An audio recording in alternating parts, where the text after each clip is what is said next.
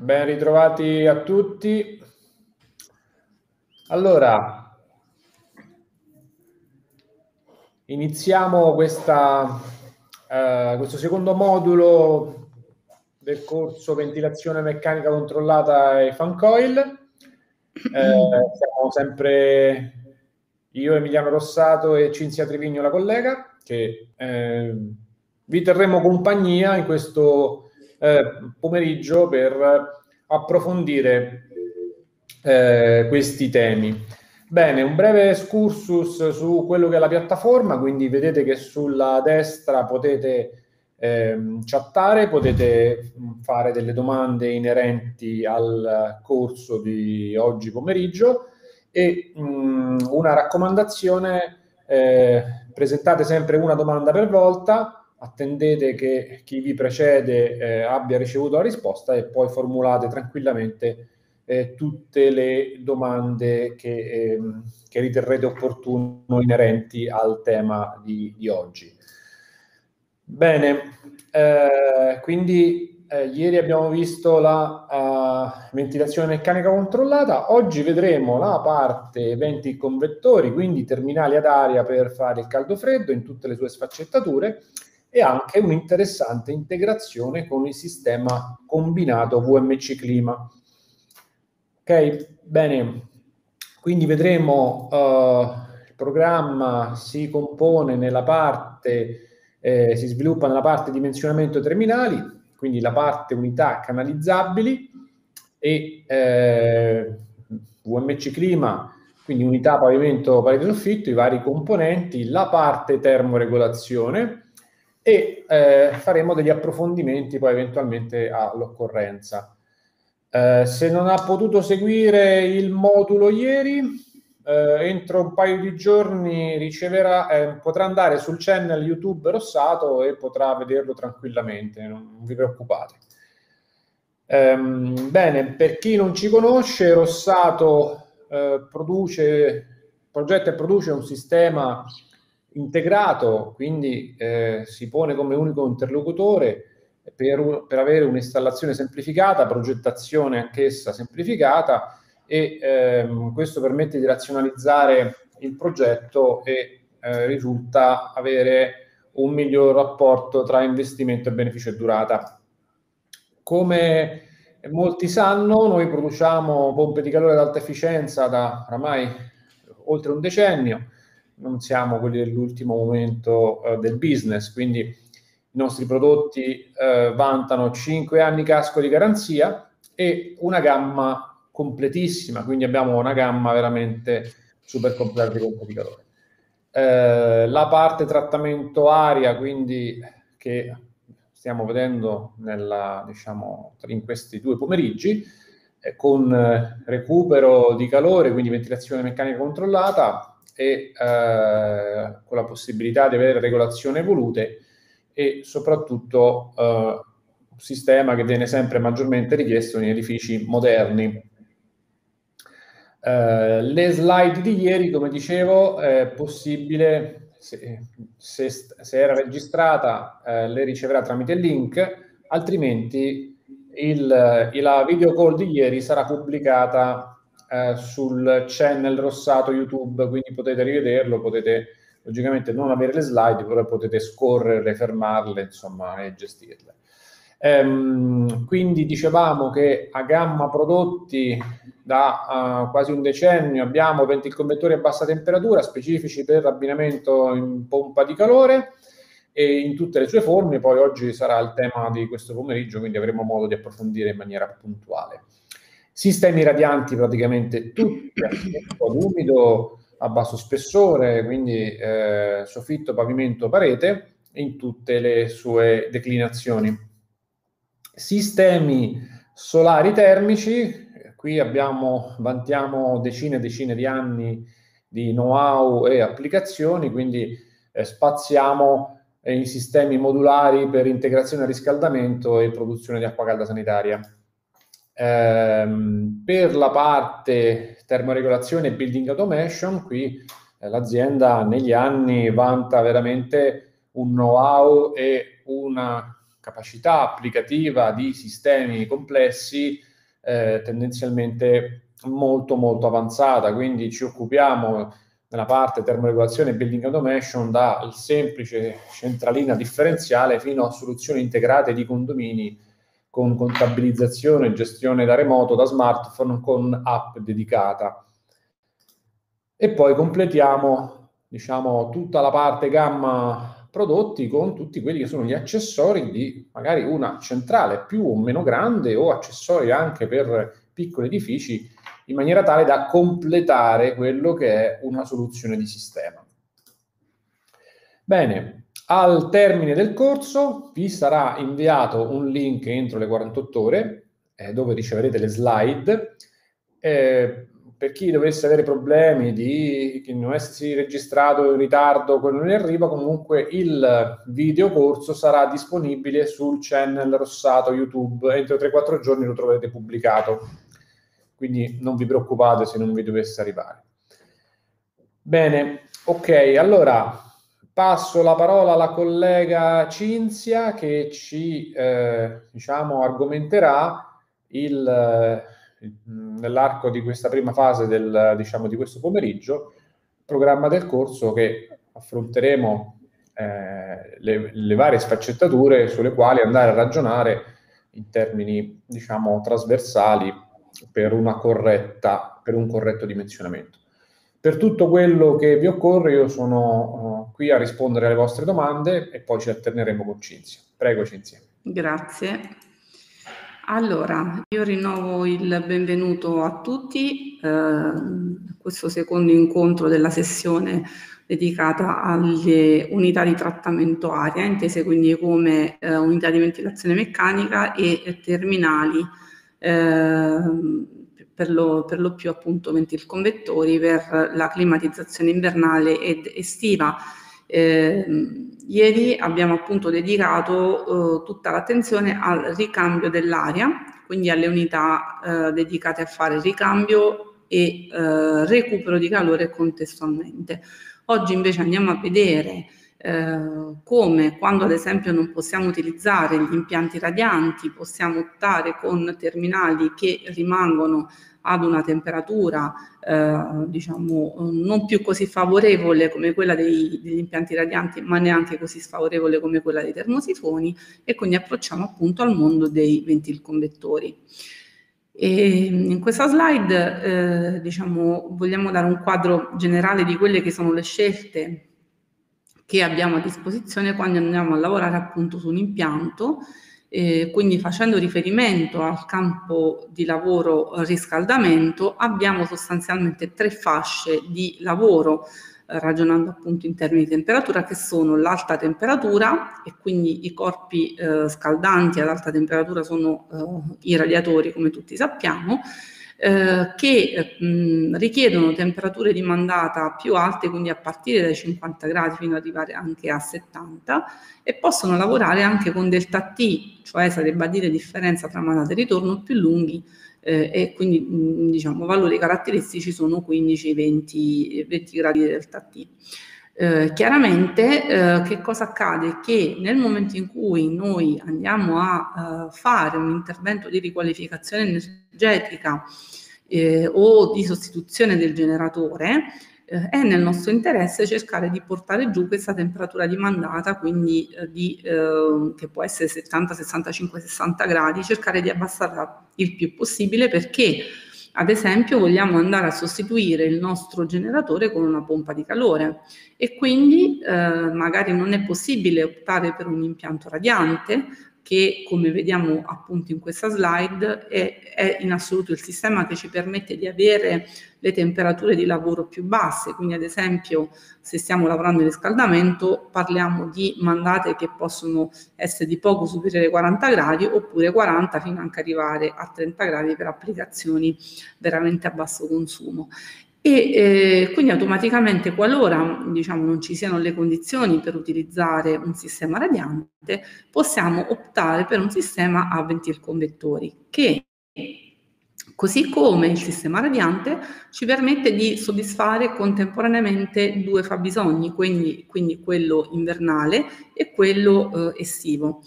Ehm, la differenza sostanziale è che anziché andare a sfruttare appunto l'irraggiamento tipico dei eh, pannelli radianti, andiamo a sfruttare la ehm, convezione forzata tipica di eh, questi dispositivi, quindi dei ventilconvettori, quindi lavoriamo sostanzialmente su, sull'aria con delle temperature di mandata che si ehm, diciamo così collocano in una fascia media quindi in media temperatura appunto, per cui eh, la nostra temperatura di mandata eh, è 40-45 fino normalmente diciamo ci spingiamo massimo fino a 50 gradi.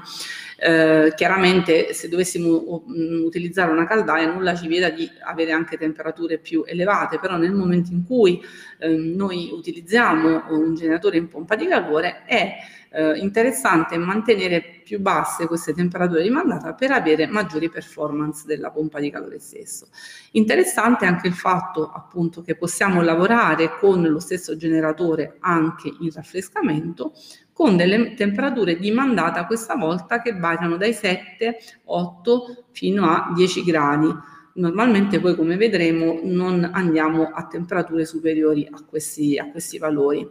Eh, mentre ad esempio se lavoriamo con un impianto radiante, proprio grazie al fatto che abbiamo ampie, ampie superfici di scambio, possiamo lavorare con temperature di mandata di 15-18 gradi ma è anche vero che nell'impianto radiante noi non ci occupiamo di quello che l'impianto radiante diciamo da solo non si occupa di quello che è il calore latente, quindi avremo poi per l'impianto radiante appunto sempre un impianto di trattamento aria abbinato. I delta T rispetto al, agli impianti radiatori sono eh, più limitati, quindi parliamo di 5-10 gradi per i fan coil, 10-3 gradi per eh, i pannelli radianti, quindi ci rendiamo conto anche che qualora dovessimo fare degli interventi di riqualificazione energetica in sostituzione ad esempio di corpi scaldanti ehm, obsoleti, quindi di vecchi termosifoni, dovremmo anche mh, valutare l'idoneità della rete di distribuzione perché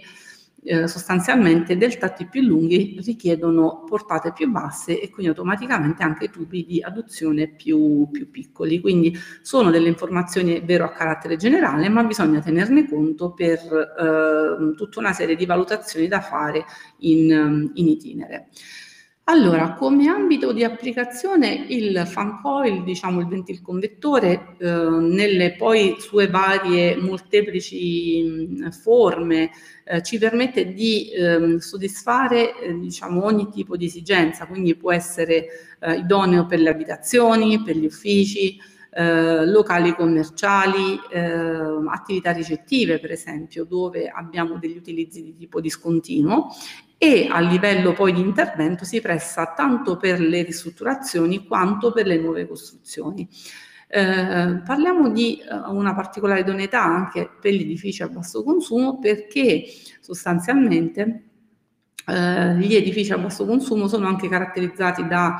eh, bassi fabbisogni, quindi ehm, i ventilconvettori in quanto eh, tra l'altro dei sistemi eh, che hanno una bassissima inerzia termica possono adattarsi velocemente anche a quelle che sono le variazioni di carico, quindi eh, diciamo con, il, con l'evolversi del parco edilizio e dei sistemi impiantistici, i ventilconvettori stanno dimostrandosi per una serie di ragioni pratico, ed economico ed energetico eh, molto versatili e mh, pronti a soddisfare diciamo, esigenze di diverso genere. In termini di comfort abbiamo eh, una situazione intermedia rispetto a quella che può essere la classica situazione con un termosifone che funziona a alta temperatura e eh, rispetto al radiante. Noi sappiamo che i sistemi radianti sono in assoluto sicuramente sistemi che ci garantiscono eh, il maggiore comfort abitativo, quindi una sensazione di avvolgimento in inverno, eh, poi invece una, una, il cosiddetto effetto casa di montagna in, in estate. Ma sicuramente anche il Fancoil riesce a garantire diciamo, dei buoni livelli di comfort perché in inverno, ragionando e lavorando con temperature mh, medie, sostanzialmente l'aria non viene troppo eh, essiccata e comunque viene sempre filtrata anche, per cui automaticamente non si va a muovere eh, pulviscolo, quindi è sufficiente anche andare a mh, mm, prestare attenzione alla manutenzione dei, dei ventilconvettori e dei filtri per eh, avere anche diciamo una buona qualità dell'aria eh, in ambiente. Inoltre eh, viene controllata quindi l'umidità durante l'estate perché naturalmente le batterie dei ventilconvettori vanno a deumidificare e eh, sostanzialmente poi eh, le unità sono già dimensionate, quindi fan coil ad esempio a mobiletto da incasso sono già dimensionati per delle portate che noi andremo poi a tarare sugli, sugli ambienti Diverso è il, il concetto invece in, nel caso dei, dei, degli impianti canalizzabili, dove invece sarà eh, attenzione del progettista andare a prestare attenzione a quelle che sono le velocità dell'aria eh, in, in, ambiente. Il, lo scopo è sempre quello di avere basse velocità dell'aria, quindi assenza di correnti che producano appunto fastidi eh, localizzati.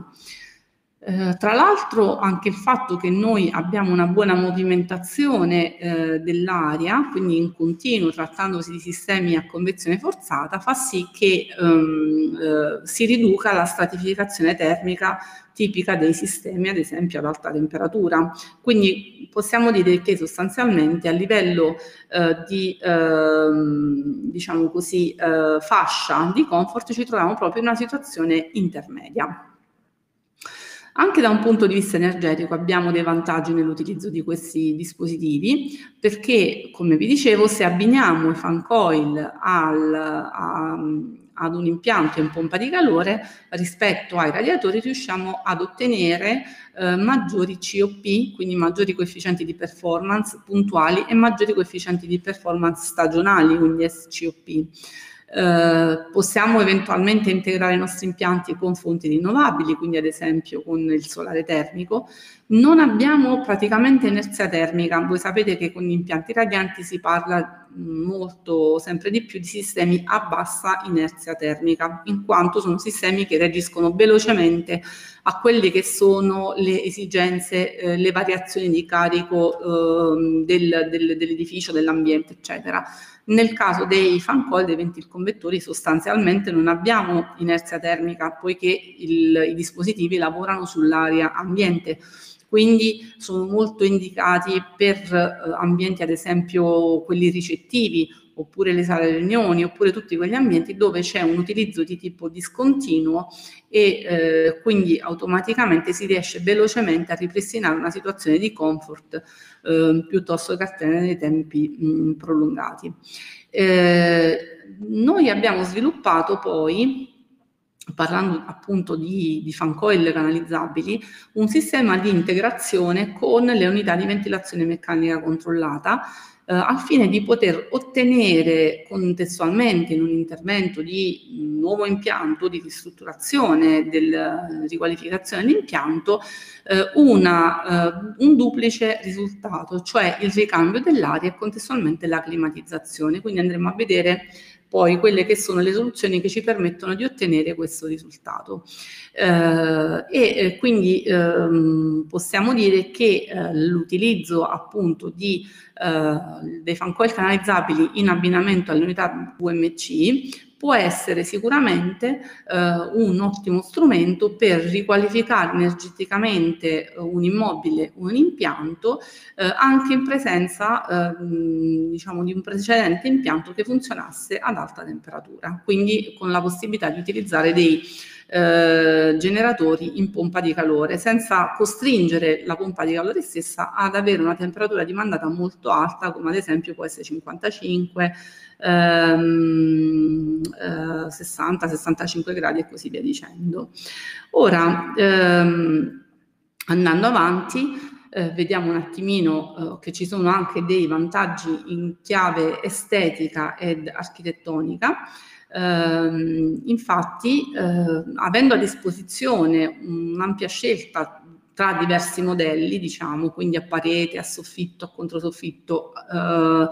eh, da incasso e così via dicendo, in realtà eh, possiamo andare a rispondere a eh, molte esigenze, eh, alle più svariate esigenze anche da un punto di vista architettonico, perché voi sapete che in un intervento di ristrutturazione sono numerose le problematiche che dobbiamo fronteggiare, quindi semplicemente dal mancato, ad esempio dal desiderio di conservare i pavimenti, oppure ehm, non ho eh, lo spazio, non voglio vedere il fan coil e così via dicendo. Quindi eh, in realtà la gamma eh, rossato è ampia eh, anche e soprattutto per consentire di risolvere e di rispondere a queste eh, problematiche soprattutto con la possibilità di mimetizzare poi l'impianto, ad esempio nel, nel controsoffitto, oppure con i ventilconvettori da, eh, da incasso. Eh, e in particolare poi con i sistemi canalizzati che vanno a servire diversi, ehm, diversi ambienti. Allora, Uh, come è nostra consuetudine, noi facciamo un piccolo uh, cappello introduttivo su quelle che sono le fasi uh, operative che ci portano poi a lavorare correttamente, quindi sono sostanzialmente dei piccoli tips, possiamo dire, assolutamente diciamo la trattazione non può essere, non vuole essere esaustiva perché ognuno di questi argomenti che viene poi menzionato richiede a sua volta, come è poi nell'ambito della tecnica, eh, voi sapete tutti, richiede a sua volta un'altra trattazione, quindi un capitolo che può essere dalle due ore ad una giornata intera. Quindi, essendo il nostro incontro eh, un incontro che vuole darvi una panoramica, andiamo a menzionare tutta una serie di argomenti che richiedono chiaramente ulteriori approfondimenti. Però mh, quello che ci preme dire è che sostanzialmente il punto di partenza per il dimensionamento di qualsiasi tipo di terminale, quindi in questo caso anche dei ventilconvettori, è comunque è sempre la conoscenza dei fabbisogni, quindi il fabbisogno termico invernale ed estivo, estivo inteso sempre come parte sensibile, ovvero temperatura latente carico di umidità. E quindi sarebbe buona prassi partire sempre da quella che è la relazione del termotecnico, che indica appunto la potenza che bisogna assegnare a ciascun ambiente e contestualmente anche quella che bisogna dare al generatore per tener conto poi di tutte le perdite che ci possono essere nel, nel sistema. E sarebbe cosa buona avere queste informazioni anche in fase di preventivazione, quindi fornire queste informazioni alla gente o che la gente si procuri queste informazioni in maniera da centrare il più possibile anche l'offerta eh, economica. Una volta che sono noti questi, questi fabbisogni è possibile eh, andare a eh, dimensionare poi tutti i corpi emittenti, quindi i ventilconvettori, eventualmente la rete auraulica eh, per gli impianti canalizzati, la rete di distribuzione intesa come idraulica, il generatore e tutte le altre componenti della centrale termica. Quindi vedete che è un processo in cascata che però comincia sempre dalla conoscenza dei fabbisogni. Um, quando parliamo di fabbisogno invernale, quindi sostanzialmente il nostro terminale, il nostro ventilconvettore, eh, così come poi anche il generatore che lo, che lo alimenta, eh, deve sopperire a tutte le dispersioni termiche dell'edificio. Per dispersioni termiche esattamente cosa intendiamo? Intendiamo la somma di due contributi principali che sono mh, mm, eh, sostanzialmente le dispersioni che si producono per ventilazione e le dispersioni che si producono attraverso tutte le superfici disperdenti dell'involucro. Per superfici disperdenti dell'involucro intendiamo sia quelle rivolte esattamente verso l'esterno sia quelle rivolte verso ambienti non riscaldati. Quindi eh, voi vi rendete conto come eh, un tecnico che faccia un'analisi eh, al, attraverso un software possa avere un risultato, invece un sopralluogo eh, e eh, un esame solo visivo possa portare ad un risultato di tipo chiaramente approssimativo e mh, di tipo eh, diverso. Eh, facendo un esempio, eh, questo è un, un, banale calcolo che è possibile svolgere appunto anche manualmente, prendiamo un ambiente, quindi una stanza di 60 metri cubi, e eh, le andiamo ad assegnare un ricambio di 30 metri cubi ora. Per chi di voi ha seguito ieri il corso sulla VMC si ricorderà che il parametro di riferimento per il ricambio aria è 0,5 volumi ora, ovvero metà del volume del nostro ambiente. Quindi se consideriamo che in ambiente abbiamo 20 gradi mentre fuori ne abbiamo 2, abbiamo un delta sostanzialmente di 18 gradi e eh, quindi andiamo appunto a moltiplicare questi 18 gradi di delta per la portata che è il nostro 30 metri cubi ora ehm, che è appunto il nostro 30, non so se vedete tra l'altro il puntatore, eh, quindi moltiplichiamo il delta 18 che è la temperatura ambiente meno la temperatura esterna per 30 che è la nostra portata di ricambio aria, per 0,34 che è il nostro coefficiente, eh, il calore specifico del, dell'aria e ci rendiamo conto che già solo in questo ambiente, semplicemente appunto per ventilazione, abbiamo disperso 200 watt. Quindi ehm, è, un parametro imprescindibile, eh, quello della conoscenza delle dispersioni. Eh, analogamente, invece, se abbiamo una parete che divide eh, un ambiente interno a 20 gradi da un ambiente esterno a 2 gradi, si produce appunto per differenza di temperatura una dispersione che è direttamente proporzionale, possiamo dire, a quella che la, la um,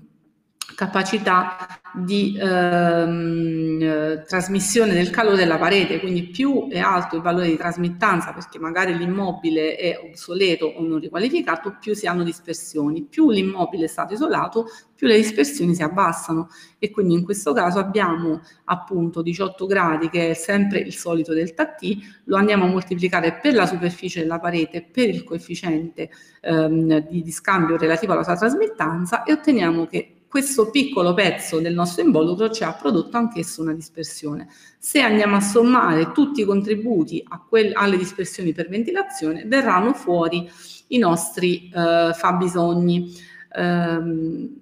abbiamo anche eh, diciamo, esemplificato in questa tabella delle situazioni tipiche, quindi ad esempio abbiamo strutture con una trasmittanza di tipo diverso, decrescente, che possiamo andare a incrociare con dei valori di, ehm, di, di trasmittanza anche per i serramenti, in corrispondenza di diverse eh, temperature minime di progetto. Voi sapete che comunque ad ogni località della nostra penisola corrisponde una temperatura minima che viene presa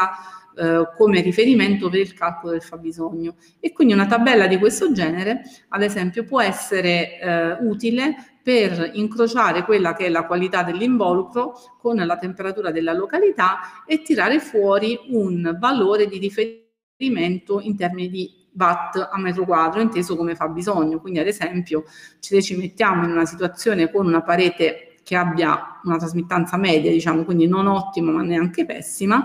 eh, e eh, gli infissi i serramenti idem, vediamo che per una località che abbia 2 gradi, come può essere per esempio Latina, abbiamo una dispersione di circa 60 watt a metro quadro. Quindi eh, questi sono chiaramente degli strumenti semplificati che possono essere utilizzati come una sorta di abaco per chi non ha la possibilità di attingere a quello che abbiamo già definito come la fonte eh, di riferimento, cioè sarebbe a dire la relazione del tecnico. Tra l'altro un'altra questione con la quale ci troviamo mm, diciamo quasi sempre no, a confrontarci è il, il fatto che eh, molto spesso il richiedente è eh, quindi la signora Maria, il signor Mario, eh, chi, eh, il privato, il cittadino, ha a sua disposizione la classe energetica dell'immobile, eh, un certificato eh, di cui poi bisogna pure andare a vedere un pochino l'attendibilità perché se è stato fatto in maniera rapida, veloce, se invece è stato fatto un sopralluogo e quindi effettivamente è stato, diciamo, si è più fedele alla realtà, insomma anche qui ci sono tanti dis- discorsi da fare. Comunque fabi- la classe energetica è indicativa di quello che è il fabbisogno energetico del, dell'edificio che è diverso dal fabbisogno termico, infatti si cambia anche unità di misura, cioè si passa a kilowattora uh, metro quadro anziché i kilowatt o i watt. Quindi attenzione a questo piccolo misunderstanding. E eh, vediamo che comunque ci dà un'informazione su quella che è la qualità energetica dell'immobile, ma non abbiamo esattamente delle informazioni dettagliate circa quella che può essere la potenza richiesta dal generatore. Anche qui abbiamo cercato di tirare fuori delle tabelle che possono essere di riferimento no? eh, per associare dei fabbisogni medi alle classi però ripeto, anche qui ci troviamo una, eh, nell'ambito di una semplificazione, quindi ad esempio se stiamo parlando di una classe C ci andiamo intorno ai 50-60 watt a metro quadro e andiamo a scendere al di sotto di questa classe, mentre le classi mh, più basse quindi la classe F e la classe G, hanno dei fabbisogni molto elevati, quindi saranno delle abitazioni molto energivore.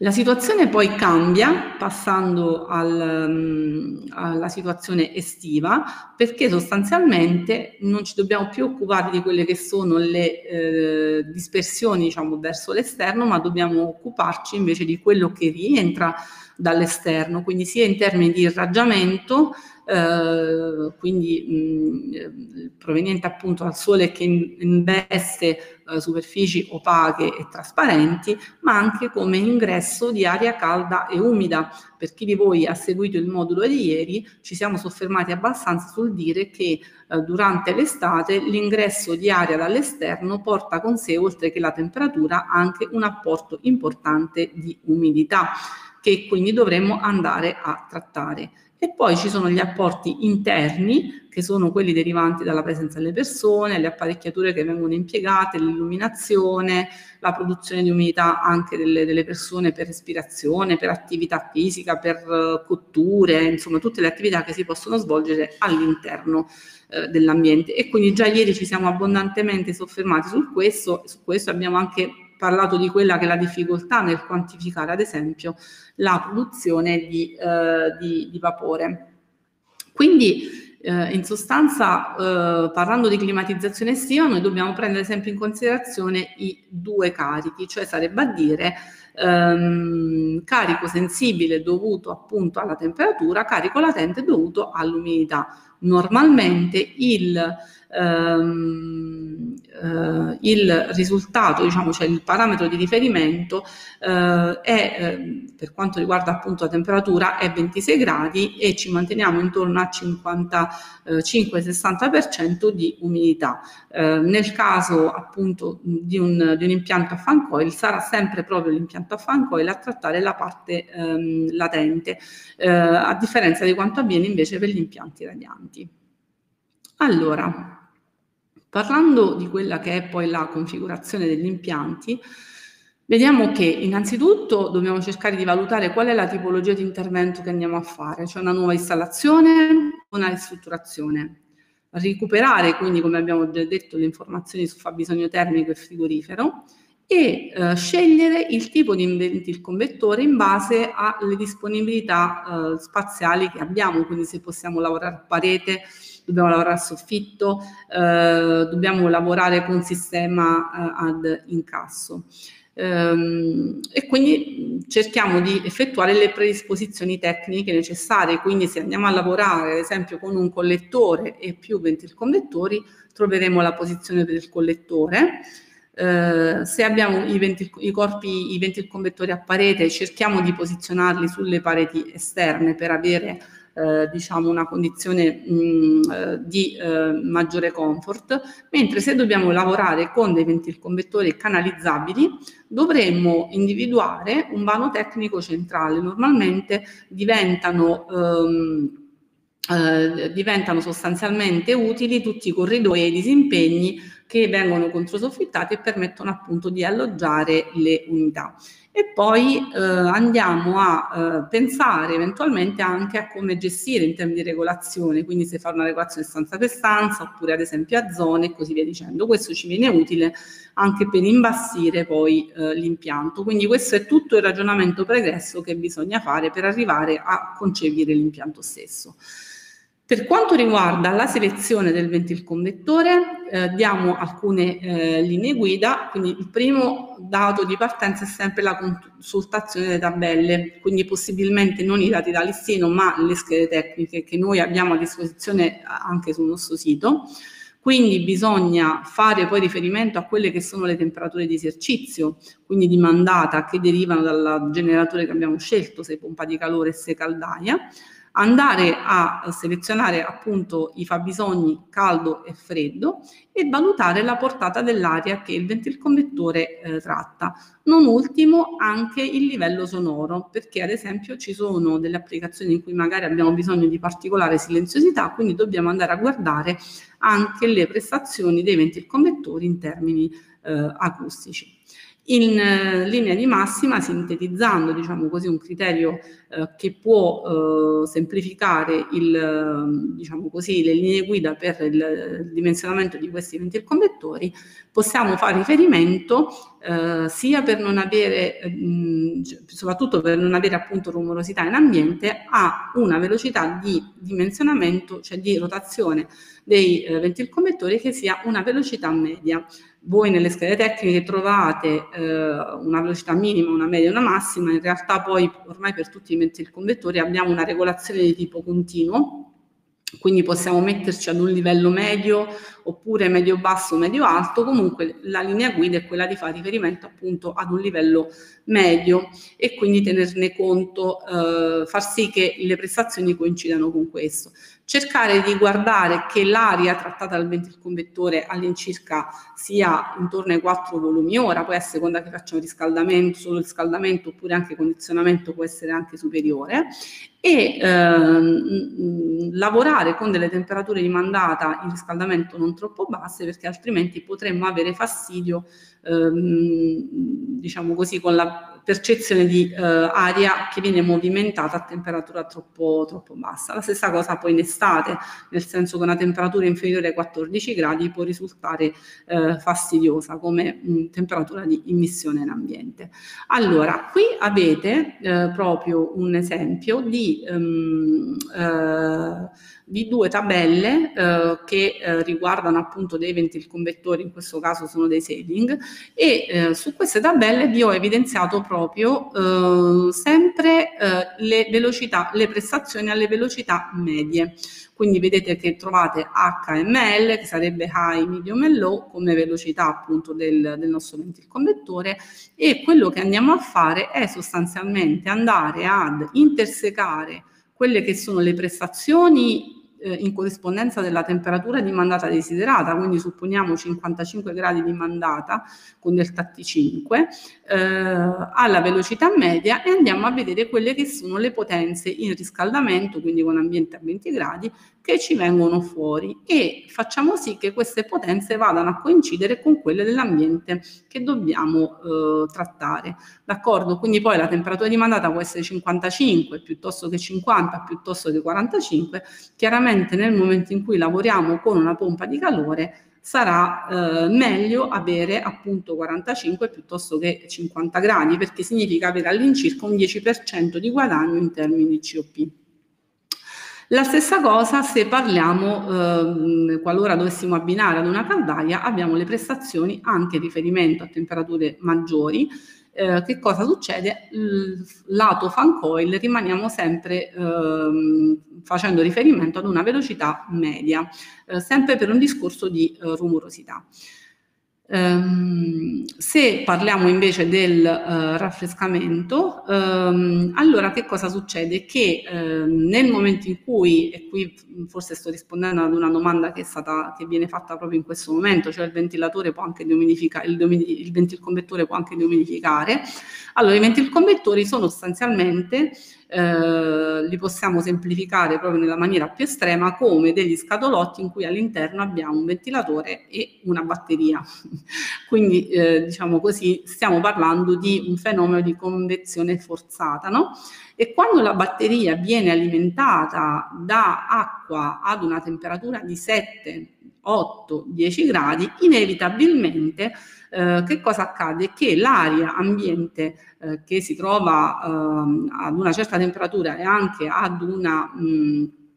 ehm, come dire, un certo contenuto di umidità, venendo in contatto con la batteria, eh, sicuramente raggiunge diciamo, quella che è la temperatura di, eh, di rugiada e quindi ehm, rilascia tutta l'umidità in eccesso. Anche questo è un discorso che abbiamo visto ieri. Quindi naturalmente il ventilconvettore va a deumidificare. E chiaramente qui che cosa succede? Più è bassa la temperatura di alimentazione del ventilconvettore, quindi se stiamo parlando di 7 gradi, abbiamo una deumidificazione ottimale, ce l'abbiamo anche a 8, ma anche a 10 perché che cosa succede? Il, ehm, questi terminali, diciamo, per poter lavorare anche in abbinamento alle pompe di calore, sono stati da noi selezionati secondo un criterio, diciamo così, di sovradimensionamento. Pensate, per esempio, per chi ha visto, eh, ha seguito il modulo di ieri, che ad esempio le batterie per la deumidifica della ventilazione meccanica mh, sono dimensionate generosamente per poter lavorare a 10 gradi. Questo perché? Perché noi partiamo sempre dal presupposto che vogliamo far lavorare bene le nostre pompe di calore.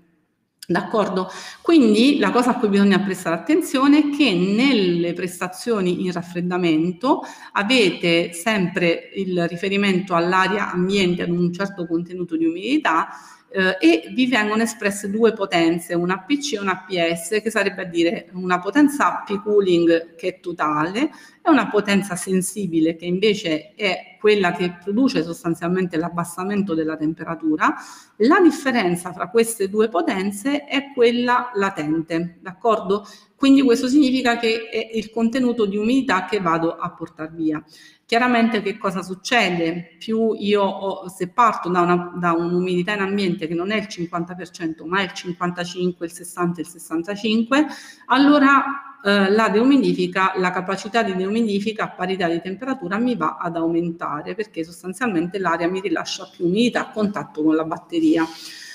e quindi automaticamente c'è sempre da prevedere lo scarico condensa, ci sono le valvole, eh, le bacine di raccolta condensa per le valvole e così via dicendo. Quindi in questo caso nel dimensionare i, i ventil convettori è trovare un giusto compromesso sulla temperatura dimandata, cioè magari non troppo bassa per far lavorare bene le pompe di calore, ma neanche troppo alta per non inficiare la capacità di deumidifica.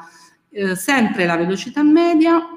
ed infine assicurarsi sempre che la potenza che si va a scegliere, ehm, quindi eh, diciamo dare priorità alla potenza sensibile che vada a coincidere con la potenza sensibile con il fabbisogno che si è calcolato in questo famoso ed eventuale eh, fabbisogno termico, d'accordo? Quindi eh, questo può anche voler significare un sovradimensionamento del ventil convettore, ma bisogna assicurarsi che la potenza sensibile sia corretta per avere il comfort anche in termini di temperatura. Eh, per tutti i ventil convettori sulle schede tecniche sono riportate le portate d'acqua e le perdite di carico che si producono anche alle batterie, eventualmente alle valvole e così via dicendo. Questi sono dei valori che vanno eh, tenuti in forte considerazione per il dimensionamento di tutto quello che c'è poi eh, a monte del nostro, del nostro impianto, quindi ehm, per tener conto poi di, delle portate complessive del, dell'impianto stesso, perché c'è anche la parte idraulica che rientra nel dimensionamento. Eh, ad esempio in questa slide noi abbiamo riportato ehm, diciamo così una, un esempio banale di quella che può essere una portata complessiva di circa 3 metri cubi ehm, che mi va ad intersecare diciamo così ehm, un, un, un, diametro 35-32 e quindi mi produce una eh, perdita di carico in millimetri di colonna d'acqua di quasi 30 diciamo quindi 29 che cosa faccio? Eh, se io considero una linea di adduzione, quindi una, una, montante di circa 10 metri, quindi 5 di mandata e 5 di ritorno, e vado a moltiplicare le perdite di carico che ho ottenuto dalla consultazione del diagramma, anche maggiorandole di un pochino, quindi del 25%, ottengo che ho perso circa 0,4 metri di colonna d'acqua, ma se invece le montanti sono molto più lunghe, chiaramente le, le, le perdite di carico saranno di gran lunga maggiori.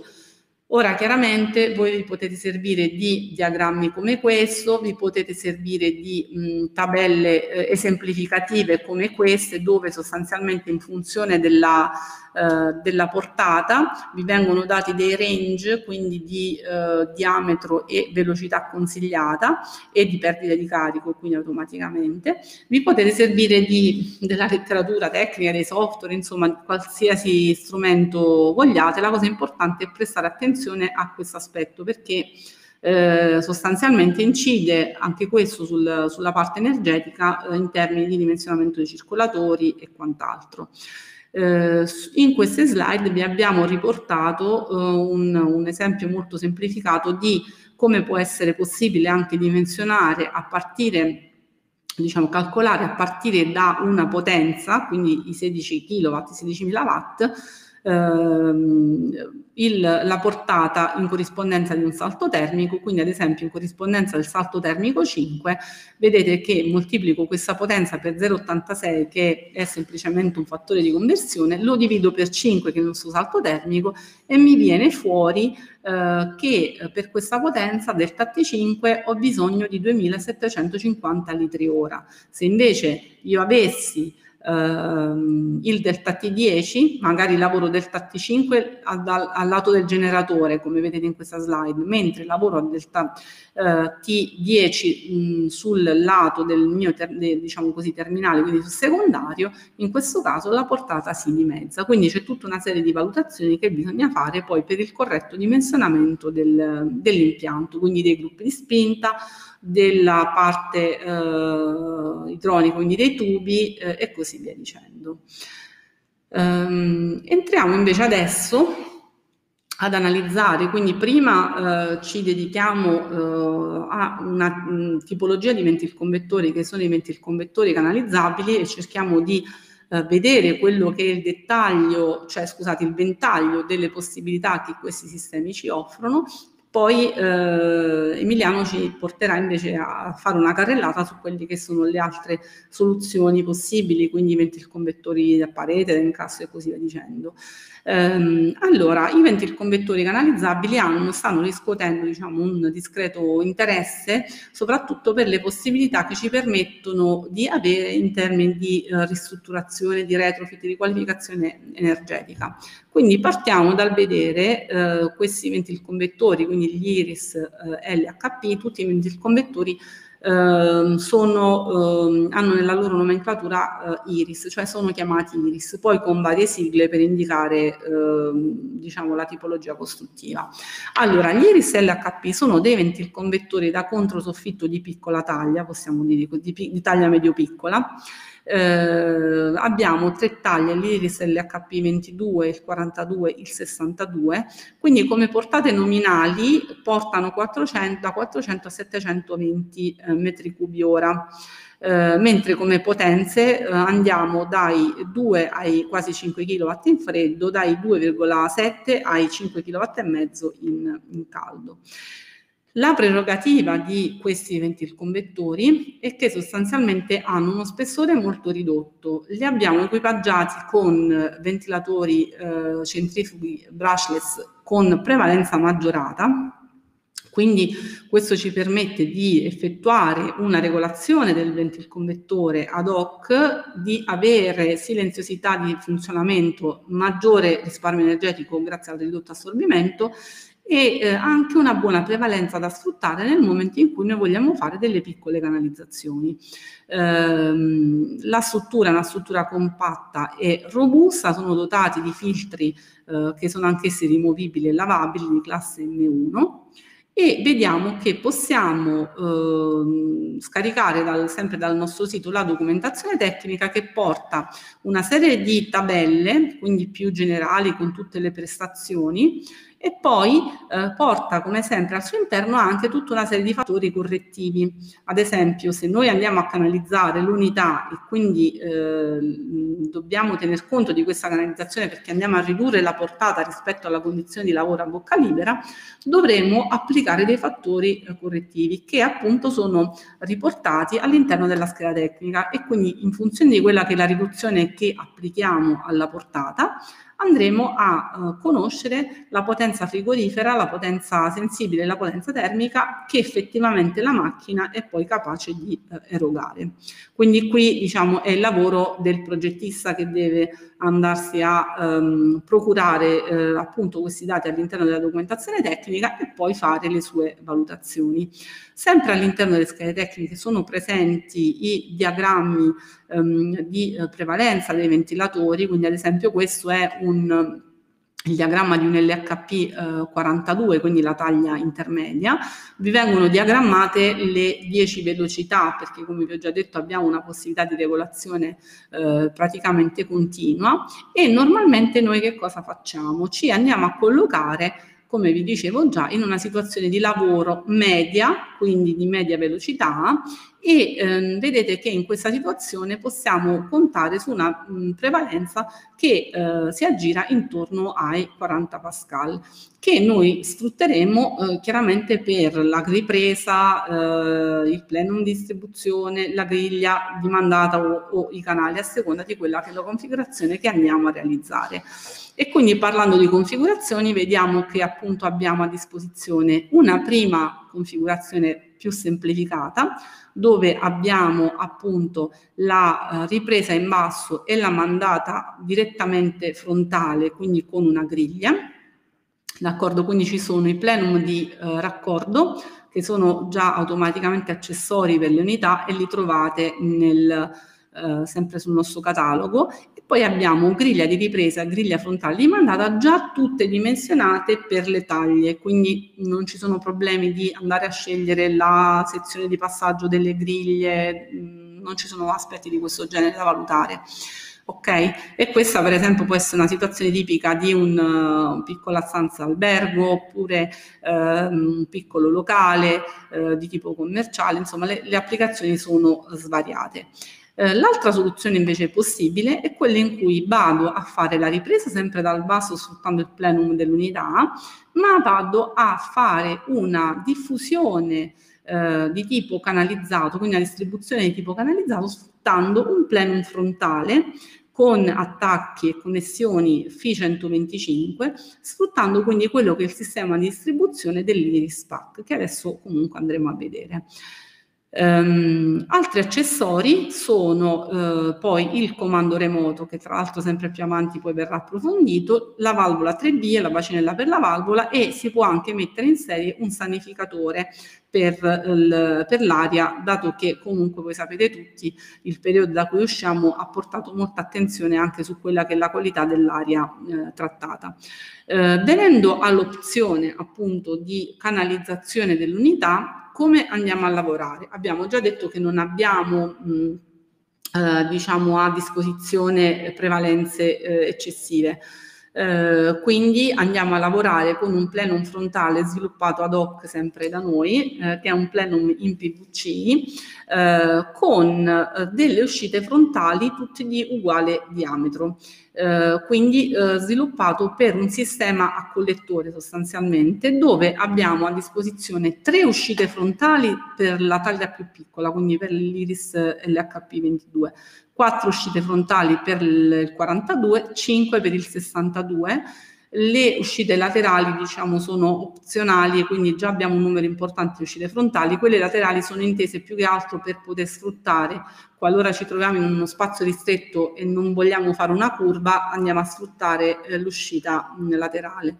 Eh, che cosa accade? Che andiamo quindi a sfruttare eh, queste uscite e andiamo a distribuire l'aria, quindi non più in un unico ambiente, ma su più eh, ambienti, d'accordo? Sfruttando proprio un sistema a eh, collettore. E in questo modo noi possiamo riuscire a fare o un impianto di climatizzazione a zone, quindi ad esempio possiamo trattare ehm, sostanzialmente ehm, come dire la zona notte, la zona giorno oppure due stanze insieme oppure possiamo andare a realizzare anche l'impianto di cui abbiamo eh, fatto cenno all'inizio cioè quindi l'impianto VMC Clima eh, dove le unità LHP si vanno a combinare appunto con le unità di ventilazione meccanica eh, controllata ehm, che sono le unità Altair. Quindi vedete in, primo, in questa prima illustrazione, che poi vedremo anche più ingrandita successivamente, proprio un esempio tipico di impianto in cui abbiamo centralmente l'unità LHP trattandosi di una piccola abitazione può essere tranquillamente un LHP 62, eh, derivazioni tutte fatte con il 125, ehm, quindi con un condotto di un unico diametro eh, in una lunghezza molto limitata, quindi parliamo di circa 3 metri, e contestualmente abbiamo l'impianto di ventilazione meccanica che va a fare separatamente il suo lavoro. Eh, e eh, quindi vediamo che il vantaggio eh, appunto è quello di utilizzare solo ed esclusivamente dei terminali misti, su cui comunque ritorniamo a breve, che ci permettono di integrare le due funzioni, quindi la funzione clima e la funzione ehm, VMC. Quindi sostanzialmente anche l'IRIS LHP si presta per un'integrazione di questo tipo. L'altro, eh, il convettore canalizzabile che si presta invece per questo tipo di eh, integrazione è eh, l'Iris eh, CN.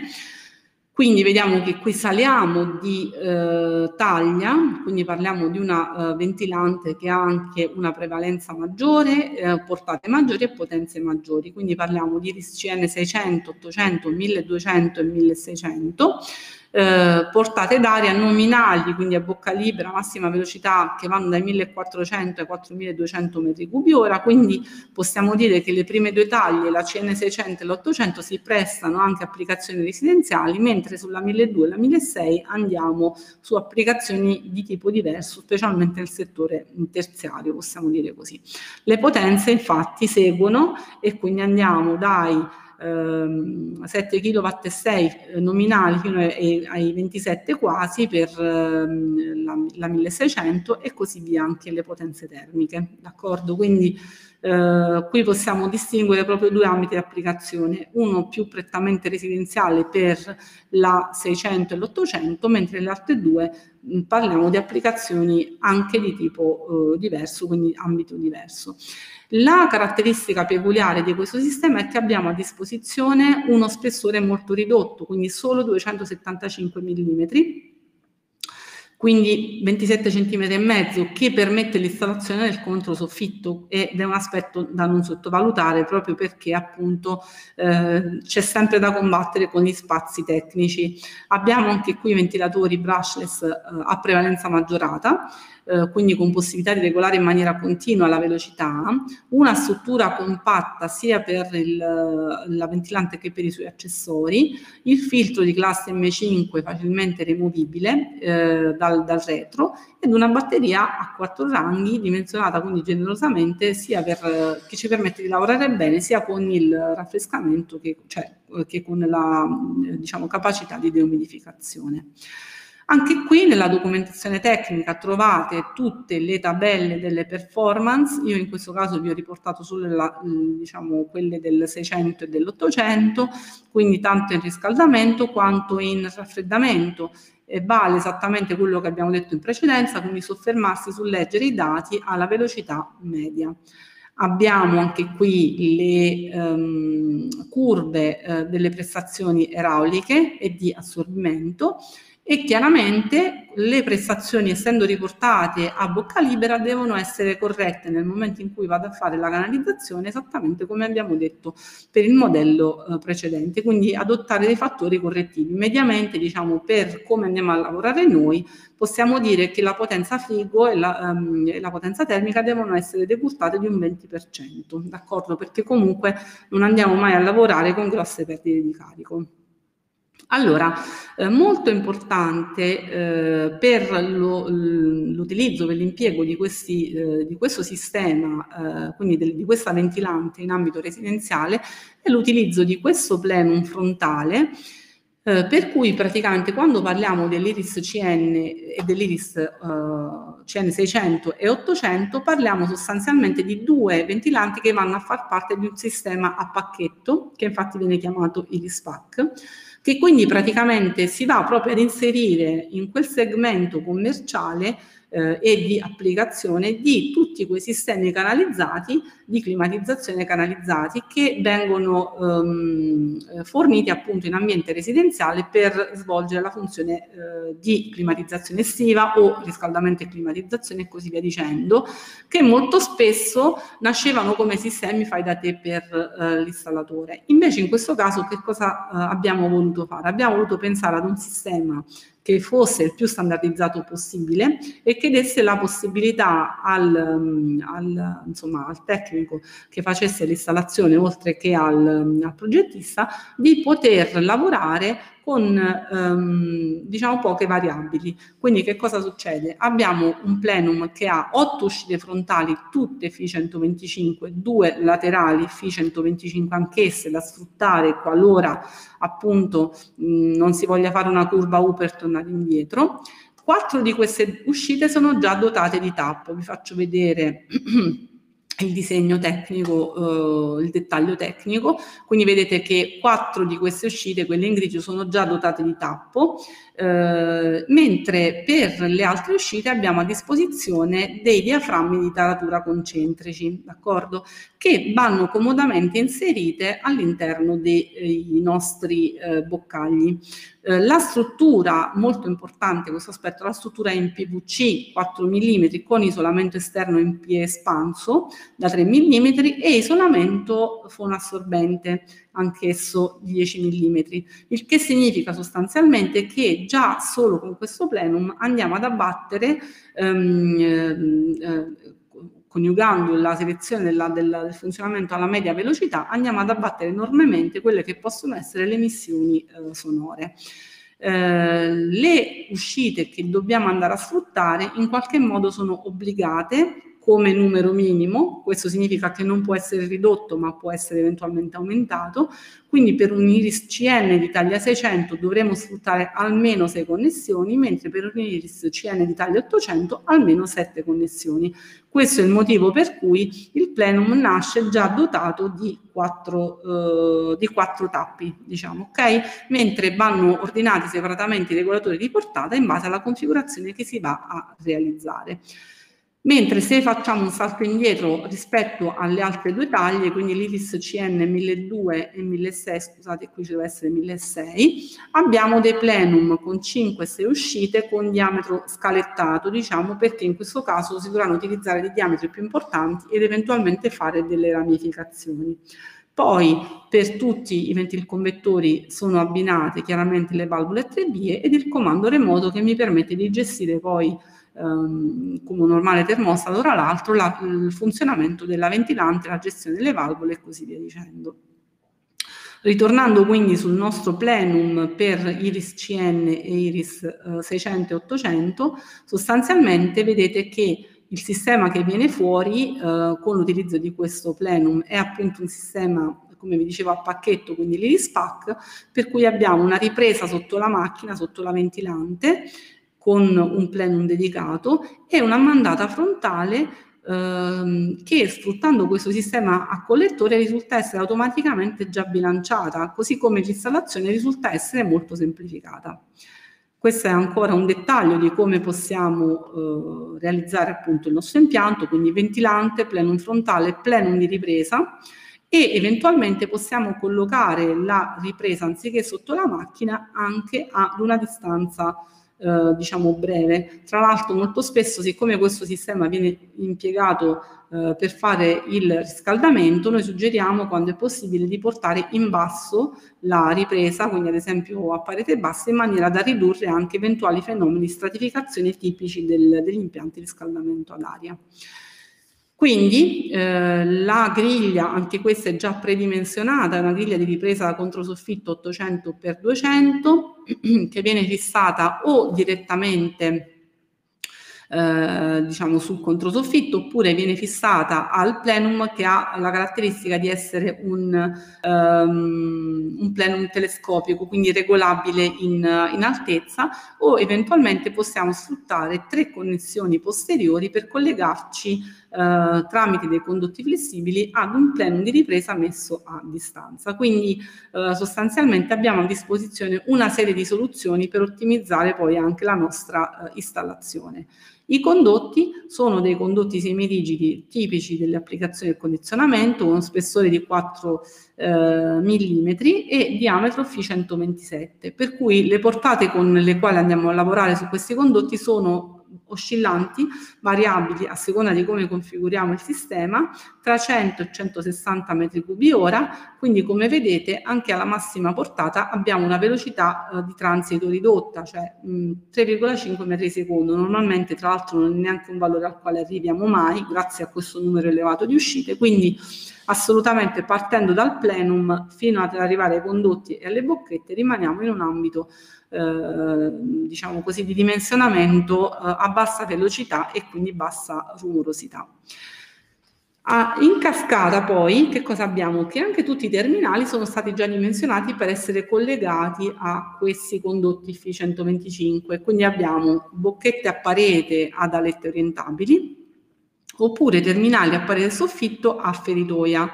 E qui abbiamo eh, come adattatori, come plenum, dei plenum in PVC isolati con una, due, tre connessioni FI 125 a seconda di quanti condotti ci dobbiamo andare a eh, collegare. Quindi questo è ad esempio una configurazione di un appartamento di 110 metri quadri dove andiamo a fare appunto la climatizzazione estiva e quindi ci saranno ambienti a cui associamo tre condotti, ambienti invece a cui ne associamo due oppure ambienti più piccoli a cui ne associamo solamente uno. Quindi poi quello che andiamo a prestare attenzione è nuovamente il dimensionamento della ventilante, il, il, calcolo della portata per far sì che andiamo a trattare, come abbiamo già detto, un numero sufficiente di volumi ora e così via dicendo. Quindi un impianto eh, molto semplificato che chiaramente si va a collocare in questo segmento commerciale, cioè sarebbe a dire eh, nella categoria degli impianti eh, canalizzati, dove però anziché lasciare eh, margine quindi di iniziativa, viene standardizzato tutto per per avere anche, eh, diciamo così, efficacia e funzionamento. Questo è un altro esempio di layout dove eh, sostanzialmente vengono date tutta una serie di indicazioni, ecco anche a chi fa poi la posa eh, e nel dettaglio eh, vediamo che questo è un impianto dove eh, abbiamo appunto le eh, mandate tutte in alto mentre la ripresa viene messa in basso perché è un impianto che fa riscaldamento. E quindi sostanzialmente questa è una lista materiali tipo con Iris CN 800 e vediamo che abbiamo un prezzo complessivo di questo impianto di listino che è di circa 5.000 euro. Quindi è un impianto che ben si va ad integrare Ehm, diciamo anche a livello economico sul, sul, sul mercato. Eh, un'altra soluzione possibile che possiamo adottare con questi sistemi canalizzati è quella di affidare loro solo il raffrescamento eh, mentre il riscaldamento viene fatto da un impianto radiante, quindi piuttosto che fare appunto riscaldamento radiante, raffrescamento radiante e umidificazione, andiamo a semplificare ad avere l'impianto radiante per solo caldo, la ventilante invece per fare il clima estivo. I nostri impianti, quindi in pompa di calore, vengono automaticamente strutturati poi per lavorare in maniera alternata, quindi sull'impianto uh, radiante o sull'impianto a fan coil. Quindi anche tutta la centrale termica viene progettata per fare questo, per questo, questo switch ed è una soluzione che sta trovando molto riscontro, ad esempio anche in ambito di eh, condomini, con gli appartamenti um, realizzati in, in serie. Un'altra situazione tipica dove questo può avere riscontro, cerco di andare veloce Uh, seppure devo insomma toccare un pochino tutti gli argomenti, è quella del, dell'impianto dove abbiamo dei radiatori che vengono alimentati ad alta temperatura e quindi sostanzialmente che cosa succede? Abbiamo dei tubi di piccolo diametro, non è facile fare lo switch dai radiatori ai eh, ventilconvettori, d'accordo? Quindi che cosa possiamo andare a fare in questo caso? Possiamo mantenere i corpi scaldanti mh, presenti, eh, possiamo sostituire il generatore di calore ad esempio con una pompa di calore e andiamo ad integrare il nostro sistema con un IRIS-PAC, quindi con il sistema appunto CN più distribuzione che eh, praticamente andrà a fare ehm, la, eh, l'integrazione quindi al eh, riscaldamento poi farà durante l'estate la climatizzazione estiva. Quindi da un certo punto di vista abbiamo ottenuto un impianto non invasivo che funziona in parallelo eh, durante l'inverno e invece in maniera esclusiva durante l'estate. La temperatura di lavoro quindi viene ridotta a 45 gradi, non deve essere più mantenuta mh, una temperatura molto alta e riusciamo ad ottenere un, un, diciamo così, un abbinamento efficace alla nostra pompa di calore. D'altro canto, con l'abbassamento della temperatura dimandata, automaticamente succede che chiaramente i termosifoni hanno una resa più bassa e quindi dovremo necessariamente integrare quella potenza mancante con il nostro ventilconvettore anche durante l'inverno, che può essere l'Iris CN eh, 800 alla minima velocità o il 600 ad esempio alla velocità media. Questo lo andiamo sempre a leggere dalla, dalla consultazione appunto delle, delle schede tecniche. Ehm, il, da un punto di vista della configurazione impiantistica abbiamo sempre un circuito con doppia pompa, eh, il funzionamento invernale dei due impianti in parallelo come vi dicevo, mentre estivo solo i RISCN, quindi solo i RISPAC. Eh, il il convettore eh, e eh, i termosifoni vengono gestiti separatamente dalla propria regolazione facendo riferimento sempre alla temperatura eh, diciamo set, quindi eh, i 20 gradi eh, interni.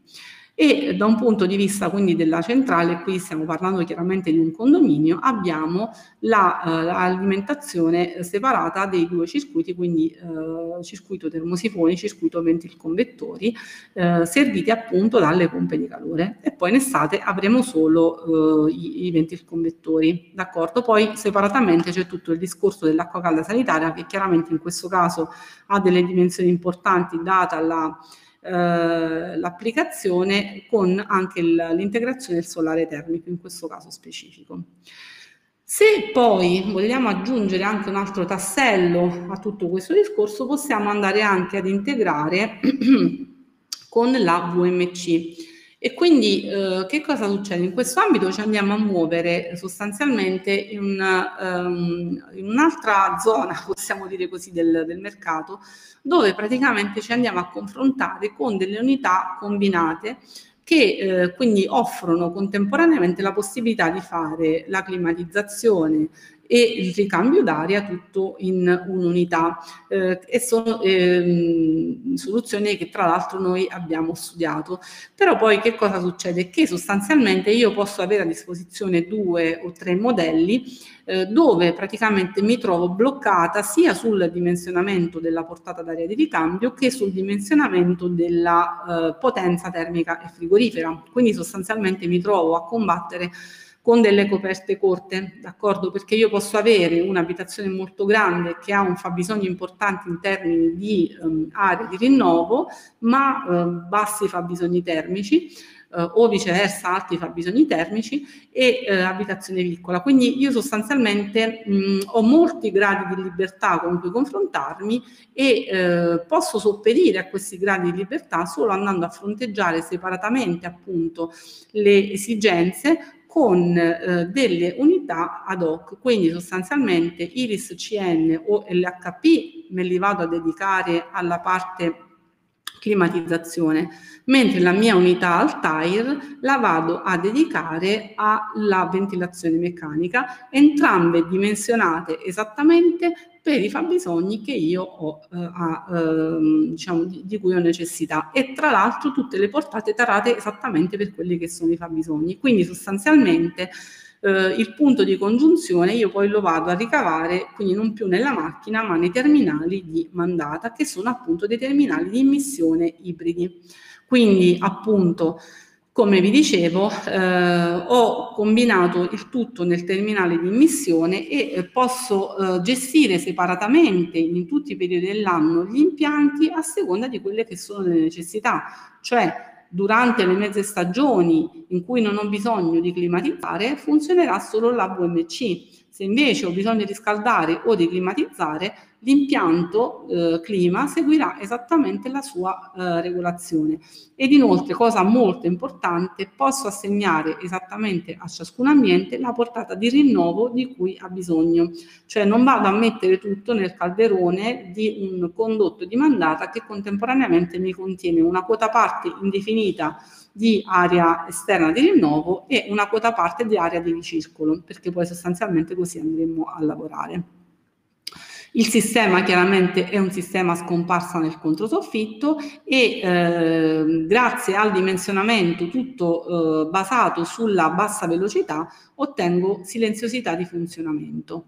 Eh, questi sono i terminali ibridi con i quali andiamo a lavorare, quindi delle bocchette che hanno eh, un condotto, uno o due condotti F125 per l'ingresso del clima, a cui corrispondono gli anelli di taratura che abbiamo visto al eh, plenum e poi condotti eh, da 75 per l'ingresso dell'area di rinnovo eh, che viene veicolata, come abbiamo visto ieri, dai condotti eh, FI75 interno 63 che sono tra l'altro ehm, eh,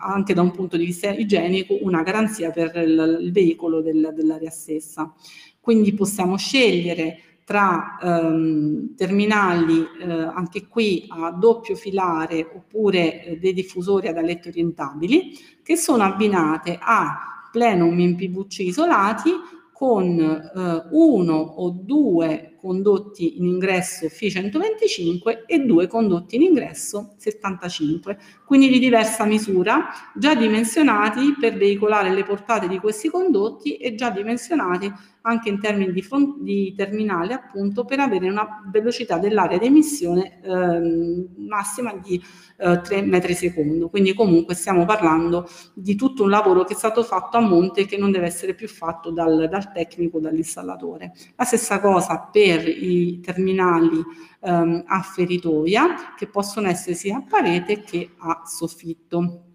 Quindi in questo caso anche da un punto di vista architettonico possiamo scegliere come installare il, eh, il terminale. E eh, quindi il risultato ad esempio con eh, un impianto Iris LHP qui vediamo proprio uno schema di posa prevede nel controsoffitto di una cabina armadio in questo caso l'installazione dell'unità di ventilazione meccanica controllata e poi abbiamo gli Iris LHP che servono diversi, eh, diversi ambienti con in ingresso ai terminali misti sia l'area eh, quindi clima che l'area di rinnovo, mentre l'estrazione segue il suo percorso standard, quindi viene fatta dai locali eh, meno nobili come mm, diciamo in una classica situazione di VMC.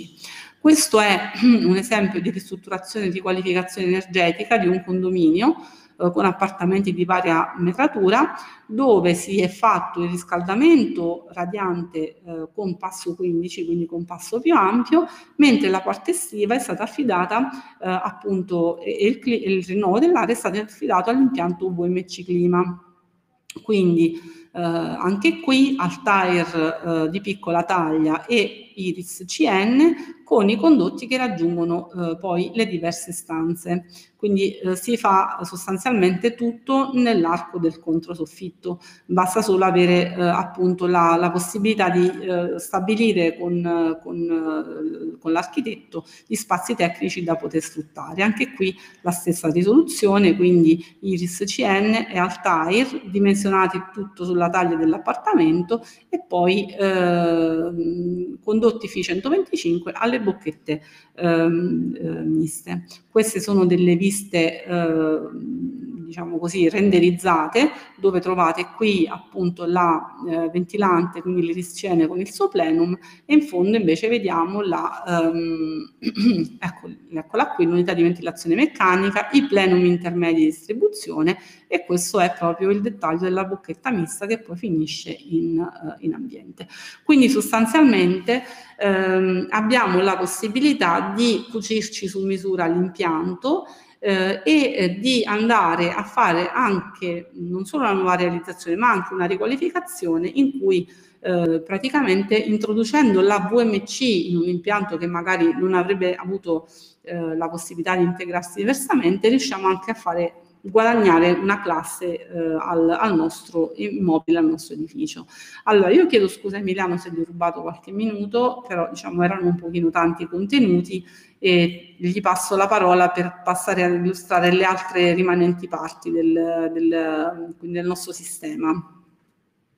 Eh, Vediamo se c'è. Ecco. Fisiologicamente è molto ricco il tema, quindi ci sarebbero le giornate da parlarci, quindi eh, farlo in due ore siamo un po' eh, amici di Spiri Gonzales. Rimango a disposizione in chat nel frattempo. Sì, sì, sì. Ok. Mm, allora, detto questo, mi riallaccio un pochino ad alcune domande che sono state fatte, poi e magari argomentiamole anche, nel senso che, come avete visto, nei sistemi canalizzati, diciamo che noi gestiamo le zone attraverso più apparecchi piccolini. Questo viene dal fatto e dalla consapevolezza che l'aria non avendo inerzia, quindi no, non ho massa da riscaldare, che una volta che il termostato o la sonda di zona mi arrivi a temperatura, eh, eh, la zona viene chiusa e comunque ho un certo mantenimento della temperatura no? estivo-invernale. Eh, sappiamo tutti che i sistemi diciamo di eh, serrande sono on-off o qualcuno ha azzardato a farli modulanti, ma tendenzialmente non si riesce ad avere una gestione dei flussi dell'aria in maniera efficace. Quindi eh, noi le abbiamo provate diversi anni fa, ma sempre con, sui test, con risultati veramente molto così approssimativi. E da sempre utilizziamo diciamo macchine piccole, più macchine piccole per ogni singola stanza, laddove con l'avvento dei ventilatori ad inverter, ma già con il tre velocità era abbastanza efficace, con il ventilatore ad inverter avete visto che abbiamo una capacità di modulazione dal 10% al 100%, si riesce veramente a mantenere una, eh, diciamo, un inseguimento della temperatura di comfort eh, in maniera molto molto puntuale. E eh, con il fine di far modulare in basso quanto più possibile il, il ventilatore, quindi evitando le fasi di on-off, quindi le fasi di spegnimento, perché sono nei sistemi ad aria sono tendenzialmente deleterie, eh, avremmo dei pendolamenti di temperatura, quindi immaginate, cioè dal punto di vista funzionale, eh, un sistema a serrande che cosa fa? Arriva a temperatura, chiude la serranda, dopo mezz'ora la riapre e così via, inizia il famoso pendolamento. In un sistema invece con un controllo puntuale per stanza attraverso la modulazione di ogni singolo ventilatore che ha ogni macchina piccolina, riusciamo ad inseguire queste condizioni in maniera molto efficace, molto puntuale, quindi la qualità del risultato è diametralmente diversa. Ok, quindi abbiamo preferito da sempre questa soluzione perché sposa meglio quella che è la filosofia di Rossato, che è quella del comfort e della eh, diciamo, eh, precisione di regolazione. Bene, mh, mm, allora andiamo un po' su uh, gli accessori, gli apparecchi, i modelli, di, insomma, uh, vediamo un attimino quali sono le caratteristiche. Allora, mh, mm, uno uh, dei, eh, degli accessori maggiormente sottovalutati è il collettore di distribuzione. Quindi qualcuno prima mi ha scritto se faccio la colonna uh, e faccio gli stacchi per uh, singolo vano, uh, riesco a equilibrarli, non si riesce ad equilibrarli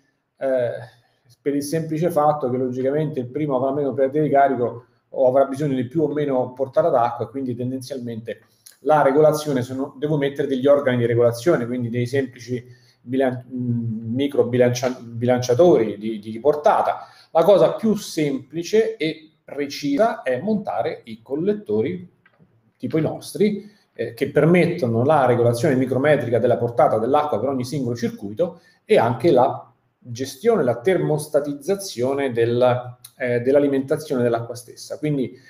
come vedete, garantiscono eh, fino a 500 litri ora di portata per singolo attacco e la possibilità quindi di una regolazione micrometrica di portata per singolo circuito, quindi per singolo apparecchio. Questo permette di avere una regolazione davvero molto puntuale anche della portata d'acqua, del delta T e di tutte, eh, diciamo, eh, quegli, le cose necessarie che deve avere un impianto che eh, permetta di funzionare correttamente e questi collettori eh, ci sono da 2 a 10 vie, quindi con eh, anche le testine agli attuatori che permettono quindi di aprire e chiudere il circuito, quindi l'alimentazione dell'acqua calda o fredda, maggiormente fredda perché poi si rischia la condensa sul, sull'involucro dell'apparecchio stesso, quindi è mh, sempre cosa saggia, quindi intercettare, chiudere il flusso dell'acqua o bypassarlo con la valvola a tre vie. Andiamo a vedere una carrellata dei, dei, delle varie soluzioni e eh, quello che eh, diciamo si sta utilizzando maggiormente è il, eh, l'Iris Slim, quindi un prodotto molto sottile, 12 cm e 9, molto carino, eh, quindi eh, se tolgo il radiatore mi vanno lo stesso spessore, quindi tendenzialmente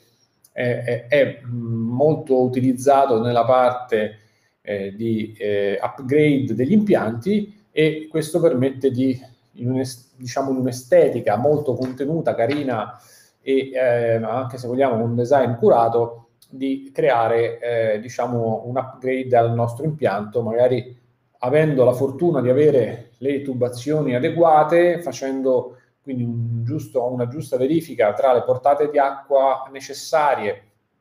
quindi verificati i carichi termici e individuato l'apparecchio che, eh, che ci serve, quindi Ricordatevi sempre che gli apparecchi, qualsiasi, quindi che si parli di ventilazione meccanica controllata, che si parli di ventilconvettori o di ventilanti, deve essere dimensionato al massimo al 70% della portata nominale. Che significa? Che se in una stanza ho bisogno di 2 kW, non ci metto il ventil da 2 kW, ci metterò quello, non so, da 3, da 2,8, dipende come casco, diciamo, con le potenze. In maniera tale che ehm, il, l'apparecchio non sia uh, con portate d'aria elevate, quindi ne guadagno in termini di efficienza, ne guadagno in termini di silenziosità, perché il ventilatore lavora a regimi ridotti e comunque ho anche la possibilità tendenzialmente di tirare giù qualche grado al generatore. ricordate sempre che tirando giù qualche grado, soprattutto se, soprattutto se, parliamo di pompa di calore, ogni grado centigrado che chiedo di produrre in meno alla pompa di calore sono tre punti di rendimento che guadagniamo. Quindi solamente abbassando 3 gradi, quindi guadagno quasi 10 punti di efficienza. Ok, quindi tendenzialmente eh, sono piccole ottimizzazioni che però alla fine dell'anno ci portano a risultati importanti. Bene, lo stesso Slim può essere messo ad incasso, quindi eh, la stessa versione 12 cm e 9 alla sua controcassa può andare in un tramezzo in una parete. Eh, ho omesso di indicarvi che abbiamo due modelli, la versione D è per l'applicazione con la domotica che ha un segnale 010 da, eh, diciamo, eh, che viene gestito da uh, diciamo, termoregolazione esterna che adesso andremo a vedere più avanti. Quindi i due modelli. Ehm, quindi la parte quindi di accessori è, eh, abbiamo la possibilità di montargli una valvola a tre vie a bordo qualora eh, non abbiamo la possibilità di montare la valvola, diciamo, l'elettroattuatore sul collettore, i piedini di appoggio sul pavimento, eventualmente controcassa e pannello frontale per il modello incasso. Allora, anche qui da sempre montiamo un motore ad inverter, eh, DC ad inverter, quindi motore BLDC. Qualcuno di voi mi scriveva mh, mm, che in alcuni modelli se, si sente un ronzio del motore barra ventilatore e purtroppo è più abbinato alla qualità della componentistica, nel senso che ci sono alcuni motori che a un certo regime di rotazione creano dei fastidiosi ronzii. Um, tendenzialmente dopo decine di migliaia di macchine che abbiamo fuori, eh, posso dire che sulle nostre questo non accade, eh, ma questo viene da una scelta accurata della componentistica. Allora, mh, mm, ritornando oh, sulle caratteristiche tecniche, quindi avete una batteria con trattamento idrofilico questo permette di avere portate elevate anche in caso di eh, diciamo, funzionamento estivo con presenza di condensa, perché comunque eh, il trattamento idrofilico rende più liscio e eh, drena meglio l'umidità che si deposita nella, ehm, nello scambio, diciamo, nella funzione estiva. Il filtro eh, sulla parte frontale è facilmente, agevolmente, eh, diciamo, non si sostituisce ma si lava e si disinfetta, si pulisce. Insomma ok, è un filtro in classe G1 in polipropilene, quindi tendenzialmente è esente da usura, a meno che non ci si intruppa con qualche corpo uh, metallico che, che, che, che, lo rovini, insomma. Avete visto che abbiamo quindi quattro taglie, eh, copriamo quindi un range importante di eh, eh, applicazioni, quindi eh, dal punto di vista quindi dell'applicabilità eh, copriamo mh, una, vasta, eh, una vasta possibilità di applicazioni. Um, allora, anche qui abbiamo il modello con ehm, diciamo regolazione montata a bordo che permette di gestire il singolo apparecchio oppure si può scegliere quindi magari avendo più apparecchi in, una, in un'unica stanza quindi eh, montare il controllo solo su una macchina e sull'altra, quindi avremo una master, le altre slave, montare solo le sonde di temperatura. Quindi in questo caso attraverso un apparecchio possiamo gestire anche gli altri, quindi fino in realtà fino a 24 unità con un unico master e questo ci permette quindi eh, di ehm, eventualmente economizzare o semplificare in funzione di quale sia il fine eh, la gestione de- degli apparecchi. Uh, il modello quindi da incasso uh, avrà quindi il comando invece remoto installabile sulla 503 sulla scatola, quindi esternamente, oppure se utilizzate eh, la nostra building automation che è la CSC eh, con sensori invisibili e il pannello touch che poi vedremo più avanti, quindi, eh, oppure semplicemente dalla app Rossato. E in questo caso quindi possiamo creare delle in realtà personalizzazioni infinite. Allora, considerate che il, mh, la regolazione base, eh, che è quella uh, diciamo, che avete visto qui, eh, non permette la gestione delle fasce orarie, è quindi attiva eh, e va a modulare sul ventilatore in funzione della distanza del delta T impostato e, e, e rilevato. Eh, quindi se prendete il, diciamo, la regolazione basic, avrete necessità eventualmente di mettere un cronotermostato per piano che attivi quella zona, quel piano nella determinata fascia oraria che vi serve. Nel caso invece in cui eh, andiate a utilizzare il sistema di regolazione eh, di Building Automation CSC, in quel caso avrete la possibilità di personalizzare praticamente tutto, avete tutto sull'app eh, o da pannello touch, diciamo, eh, localizzato, quindi lo si installa. Allora, andiamo un pochino a vedere, ehm, andiamo un pochino a vedere come configurare il, eh, come configurare eventualmente, come scegliere gli apparecchi. Quindi una volta che abbiamo i carichi termici da parte del termotecnico, quindi ehm, in questo caso vi è un, eh, quindi un impianto a eh, classe F con, eh, con temperatura 75 eh, gradi, 65 quindi ad alta temperatura e eh, nel caso in cui volessimo andare a diciamo, selezionare gli apparecchi, eh, gli apparecchi che eh, in buona sostanza ci occorrono, dobbiamo matchare, no, come abbiamo detto prima, tra la potenza richiesta della singola stanza, quindi se volessimo soddisfare il soggiorno, in questo caso vediamo un attimino su quale apparecchio ricadrebbe la, eh, eh diciamo la, uh,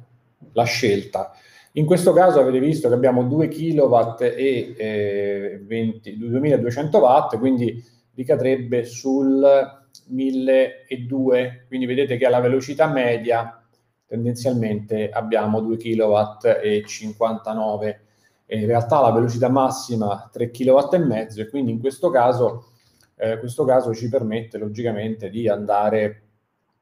eh, con una velocità eh, media, eh, quindi la parte intermedia a 2 kW e 6, quindi siamo sicuramente copriamo l'esigenza. E con una portata d'acqua di 449 litri ora.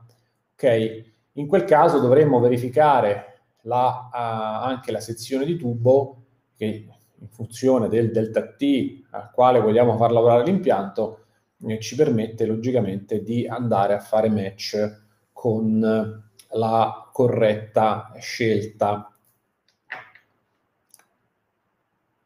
E d'altra parte poi andremo in cascata a scegliere in funzione della temperatura esterna di progetto la nostra pompa di calore, quindi in funzione della temperatura di progetto che scegliamo, eh, logicamente andremo a fare anche questa ulteriore verifica. Quindi in questo caso, avendo una, avete visto, un'abitazione abbastanza energivora con 9,3 kW di fabbisogno, con una temperatura ipotetica di progetto, quindi magari intorno ai meno 2, vedete che mh, tranquillamente rientriamo in questi canoni. Poi, logicamente, va verificata quello che è eh, dal punto di vista del dimensionamento eh, o della progettazione, va verificata soprattutto nelle fasi di upgrade, quindi quando vado a trasformare il mio impianto, magari se ho sui termosifoni e quindi devo verificare le tubazioni che siano di diametro corretto. Quindi va verificata soprattutto la capacità delle colonne di adduzione, quindi le colonne montanti che mi permettono logicamente di eh, poter trasportare tutta questa quantità d'acqua, perché i sistemi a pompa di calore e i sistemi eh, tendenzialmente a ventil convettori, eh, sì, la, la, mh, diciamo, la portata tendenzialmente predilige di lavorare a un delta T5, no? si può lavorare, avete visto, anche a delta T10, però tendenzialmente per avere il massimo delle prestazioni sui ventil eh, dobbiamo lavorare sempre a delta T5, perché le condizioni, ricordate che le condizioni prestazionali eh, sono sempre a delta T5, quindi comportate eh, sicuramente maggiori, quindi se pensiamo di trasformare eh, un sistema a, da a termosifoni a, a ventilconvettori c'è sempre la variabile tubazioni da verificare in maniera approfondita. E ehm, come dicevo, quindi posso diversificare la portata che nella pompa di calore è sempre 5 il delta, però nel caso in cui ho necessità perché le tubazioni sono già state messe, magari eh, non è stato considerato alcune cose, possiamo fare match, quindi possiamo far cascare e far rientrare le tubazioni andando a verificare la portata con le tabelle di portata, le prevalenze, verificata eh, diciamo la lunghezza delle tubazioni, riusciamo anche eventualmente a far lavorare il sistema Delta T10, il sistema distributivo con le opportune verifiche di efficienza e le opportune verifiche, logicamente, come vi ho indicato, di applica- applicabilità. Bene, ehm, nel caso, eh, diciamo, nella famiglia, logicamente abbiamo visto eh, la famiglia dei prodotti di, di basso spessore, quindi eh, sistema salvaspazio, eh, ma abbiamo tutto l'ecosistema uh, dei, diciamo, degli apparecchi da controsoffitto, da soffitto, da parete del tipo, diciamo, chiamiamoli standard, quindi con profondità 22. E eh, allo stato attuale abbiamo tre taglie, 22, 42 e 62, i quali eh, tendenzialmente erogano a, a, diciamo, il riscaldamento eh, a 45-40, 2, 3 e 4 kW,2. Quindi come vedete le portate d'aria poi sono indicate puntuali nelle schede tecniche laddove potrete vedere alle varie velocità eventualmente eh, la, differenza, la differenza di portata. Allora, anche qui abbiamo standardizzato, eh, diciamo che da credo da gennaio, abbiamo standardizzato oramai tutti i motori ad inverter BLDC che permettono una, logicamente un consumo molto più basso e permettono di eh, avere una regolazione anche maggiormente puntuale perché si adattano molto molto bene alla variabilità di richiesta. Quindi eh, non c'è più lo scatto 1, 2, 3 velocità, ma c'è in sostanza abbiamo una modulazione 10-100, quindi dal dal 10% fino al 100%, quindi eh, si adattano molto molto bene, quindi anche in un discorso di eh, possibile attivazione notturna ehm, abbiamo quindi avendo una modulazione molto in basso permettono di avere un gradiente acustico eh, diciamo chiamiamolo de-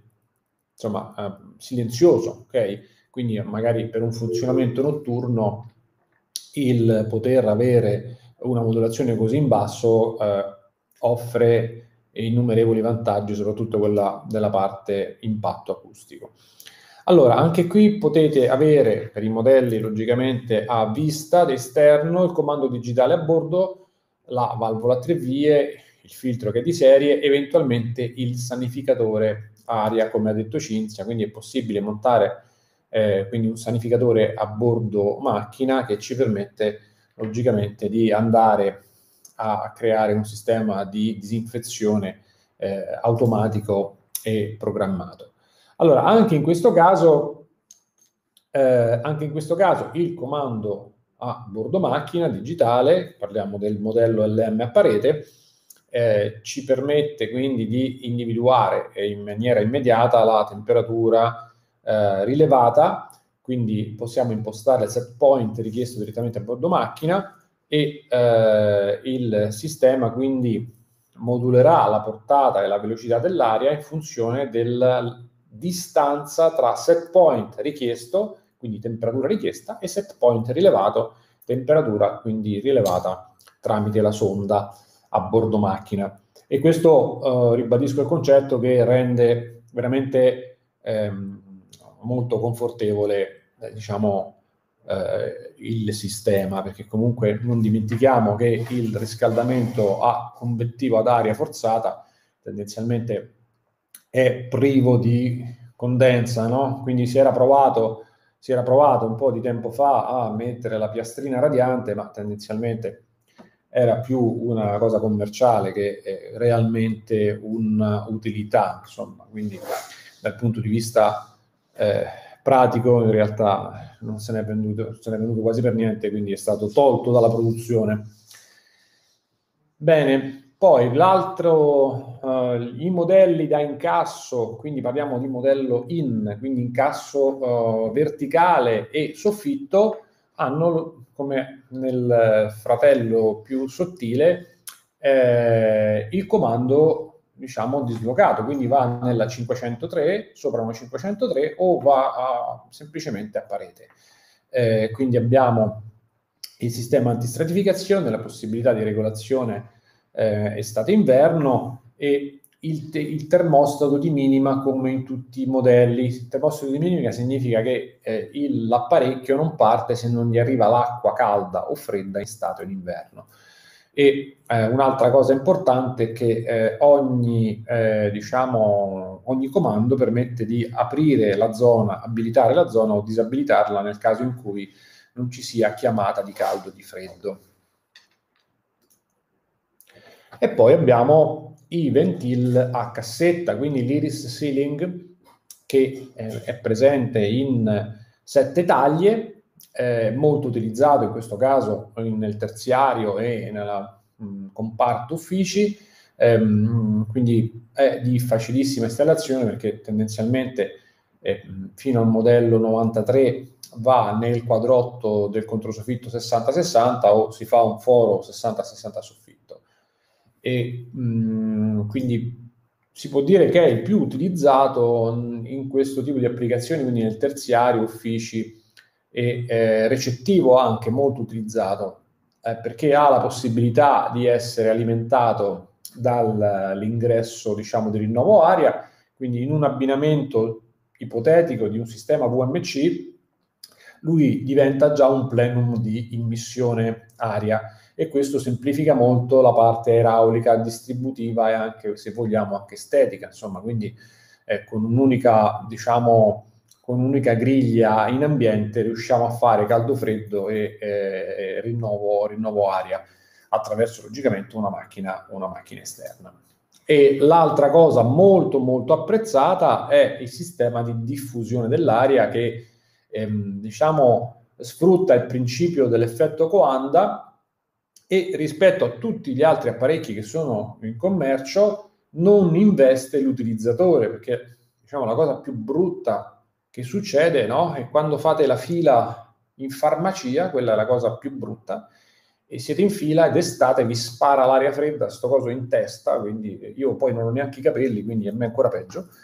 Ehm, e quindi è veramente brutto eh, no? eh, arrivare l'aria fredda direttamente addosso, ma anche quella calda non è piacevole, insomma, essere investiti da questo flusso d'aria. E l'effetto Coanda ha come principio il lancio quindi del flusso dell'aria verso le pareti e il ripescaggio nella parte centrale. Quindi l'utilizzatore che nel 99% dei casi è al centro stanza o tendenzialmente nelle parti centrali, eh, non viene investito da questo flusso d'aria calda o fredda e questo aumenta in maniera importante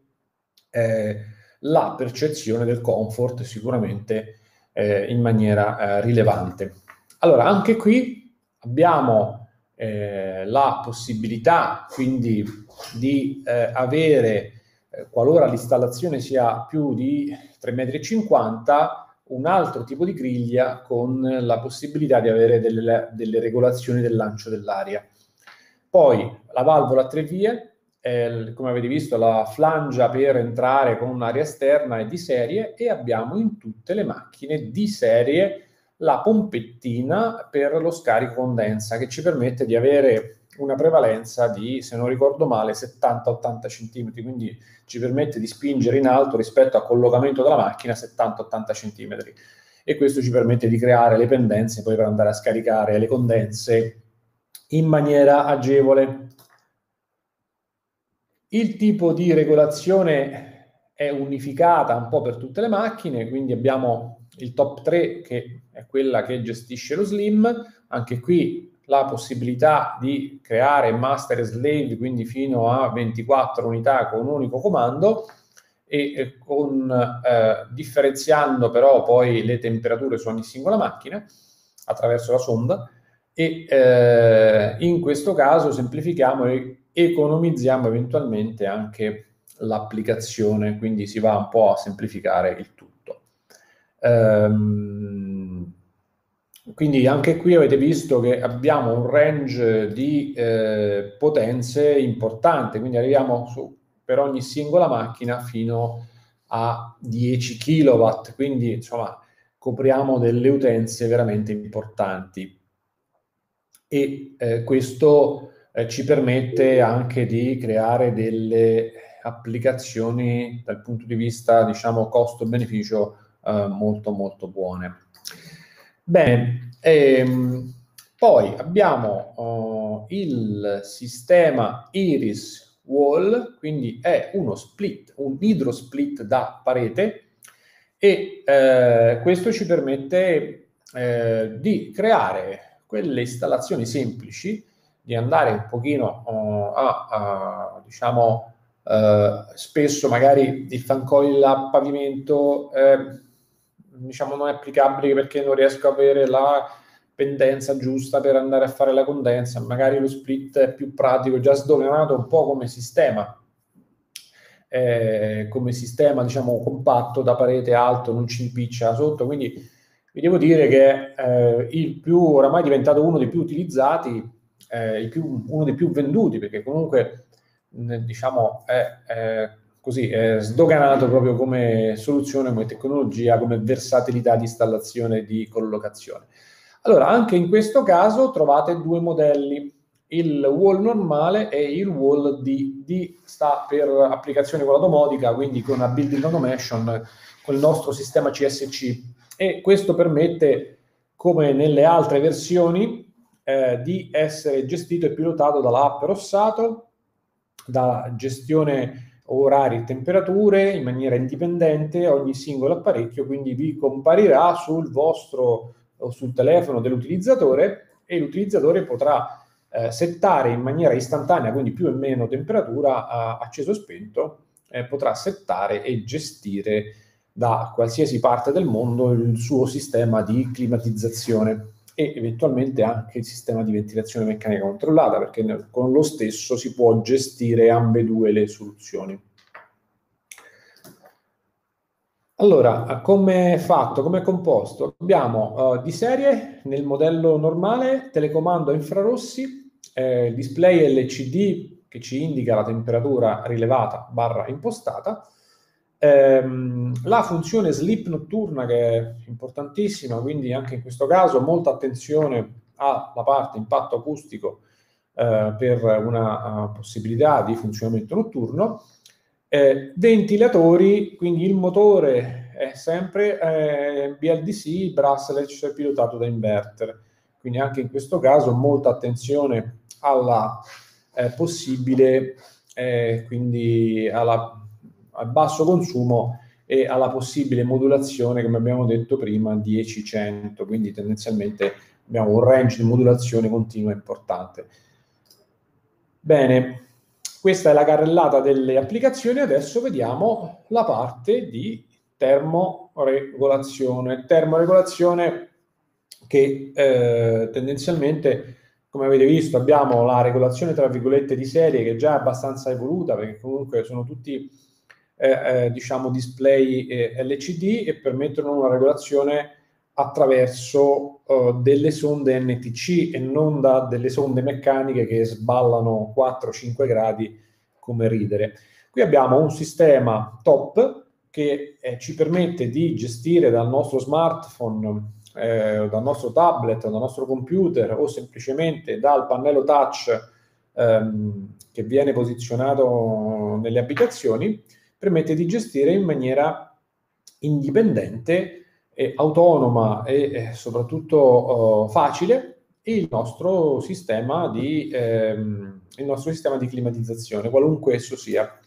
E possiamo articolare in funzione della complessità dell'impianto, quindi in un impianto eh, strutturato, molto complesso, con tanti apparecchi, oppure semplicemente con una ventilante e un sistema di ventilazione meccanica controllata, possiamo integrare la gestione, il controllo, eh, la regolazione, quindi fasce orarie, piuttosto che la singola temperatura o anche l'umidità, tramite il nostro comando. Quindi abbiamo un pannello da 7 pollici da incasso a parete tramite il quale è possibile in diretta accendere e spegnere. Eh, si basta appiggiare su una delle iconcine che delimita una zona, realtà ne posso avere anche 20, eh, quindi la semplicità di utilizzo è stato il primo focus di, questo, di questa soluzione, che è ipertecnologica ma deve essere super semplice, quindi eh, è veramente una bella, una bella applicazione. Eh, quindi qui in realtà possiamo poi personalizzare le variabili che sono tendenzialmente o avere uno schermetto a parete che comanda ogni singolo, eh, ogni singolo diciamo, apparecchio, ma tendenzialmente oramai si è andato per il 99% sul pannello touch con le sonde cieche, quindi la sonda cieca che va nel tappo del frutto della serie elettrica che, che si ha in casa, eh, permette quindi di alloggiare all'interno di questo tappino, dove basta un forellino per la diciamo, rilevazione della temperatura e eventuale umidità eh, e possiamo impostare e gestire totalmente quindi da eh, pannello touch. C'è chi nemmeno vuole il pannello touch e in quel caso utilizziamo la soluzione pareti pulite eh, tramite la quale oramai viene comandato esclusivamente e solo dal, dallo smartphone. Quindi oramai lo smartphone ce l'abbiamo sempre a portata di mano, quindi tendenzialmente c'è chi, chi, dice che cosa ci faccio io anche di un ulteriore touch, quindi lo, lo comando dal mio smartphone. Poi abbiamo tutta una serie di soluzioni wireless, quindi senza fili. Questa è bellissima perché negli diciamo, upgrade impiantistici eh, magari gli interventi non sono sempre così invasivi, quindi non sempre posso fare la traccia, passare il corrugato, passare i fili e quant'altro. Quindi è sempre maggiormente utilizzato il sistema wireless che ci permette quindi attraverso il protocollo Z-Wave che è uno dei più stabili e più efficienti eh, di alloggiare quindi le eventuali eh, sonde di rilevazione temperatura umidità e eh, attraverso dei relè wireless dialogano e attraverso la nostra centralina sempre wireless ci permette quindi di avere una gestione dell'impianto super performante e anche facilmente realizzabile perché poi eh, sì, è bellissimo, poi magari non ho il passaggio dei fili, non ho il passaggio per conto suo eh, o non ce l'ho per niente, quindi tendenzialmente la soluzione eh, diciamo eh, senza fili è sempre più utilizzata, soprattutto negli interventi di riqualificazione. Allora, questo sistema eh, rientra a pieno nella building automation, diciamo che, eh, è, mh, mm, che passa al 110% eventualmente per chi fosse, che stesse realizzando interventi a 110, quindi questo è un extra plafond oltre all'impianto di climatizzazione no? che ha il suo, diciamo, che ha il suo oh, target di, di costo, eh, la building automation è riconosciuta diciamo, come extra, extra plafond rispetto al sistema di climatizzazione. E quindi diverse configurabilità, quindi vedete che abbiamo eventualmente eh, la possibilità di andare a gestire quindi in maniera assolutamente personalizzabile qualsiasi soluzione, addirittura eh, pot- possiamo gestire l'impianto radiante in caldo e la ventilante in freddo, oppure diversi piani diversificati, posso avere radiatori piuttosto che radiante e barra sistema ad aria, oppure un sistema misto. Quindi eh, da questo punto di vista è no limits a livello di applicabilità e configurabilità. Eh, anche nella fase di installazione, quindi è molto molto oh, semplice perché mh, mm, andiamo in giro con delle sonde one wire, quindi eh, eh, la semplicità di cablaggio anch'essa è veramente molto, ehm, molto carina. E dal punto di vista poi logicamente della personalizzazione in funzione di quello che vi serve si dimensiona il sistema in base alle esigenze del cliente. Ok, scorro velocemente magari eh, quest'ultima parte, quindi mh, mm, qui l'ho saltato, questo è eh, il cablaggio di un sistema uh, wireless, quindi possiamo dislocare i relè possiamo dislocare i relè e immaginate che ogni relè fa de- da ripetitore all'altro, quindi dal punto di vista diciamo della eh, anche espandibilità, nonostante sia un sistema wireless, è veramente molto molto ampia. Bene, allora siamo giunti al termine anche questa, questa sera. Eh, vi ricordo che entro le 48 ore vi sarà inviato il link, link che dovete cliccare scaricare, quindi vi scaricate eh, praticamente, vi scaricate praticamente il, eh, video, il video corso e eh, entro 3-4 giorni troverete pubblicato sul nostro channel YouTube il video, video corso. Ok, allora abbiamo qualche minuto in anticipo, quindi se volete, eh, se volete por, porre qualche quesito domanda, Ecco, questo Emiliano, Emiliano, volevo chiedere poi a chi si scollega gentilmente, mh, mm, proprio nel, nell'ottica di migliorarci sempre, di lasciare comunque un commento, una recensione ehm, sul corso, diciamo su questi due corsi, perché c'è sempre utile poi come punto di riferimento poi anche per tarare i prossimi appuntamenti. Assolutamente sì, e come dice Crista che è intervenuto velocemente. Eh, lasciateci i vostri feedback. Eh, ci chiedono il prossimo appuntamento che è sulla termoregolazione. Il prossimo appuntamento è fine maggio sulla termoregolazione eh, e eh, quindi lasciateci i vostri eh, feedback per, come diceva Cristian, ci servono sempre per migliorarci sempre, sono sempre molto graditi. Tanto grazie a tutti per averci seguito, per essere stati con noi fino alla, alla fine anche oggi. Grazie come sempre, siete sempre tantissimi, ci fa sempre molto piacere. Tanto vediamo se c'è qualche domanda, ma non credo.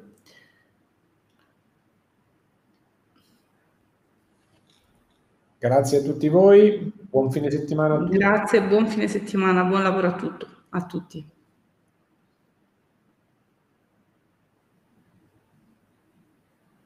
Grazie a tutti.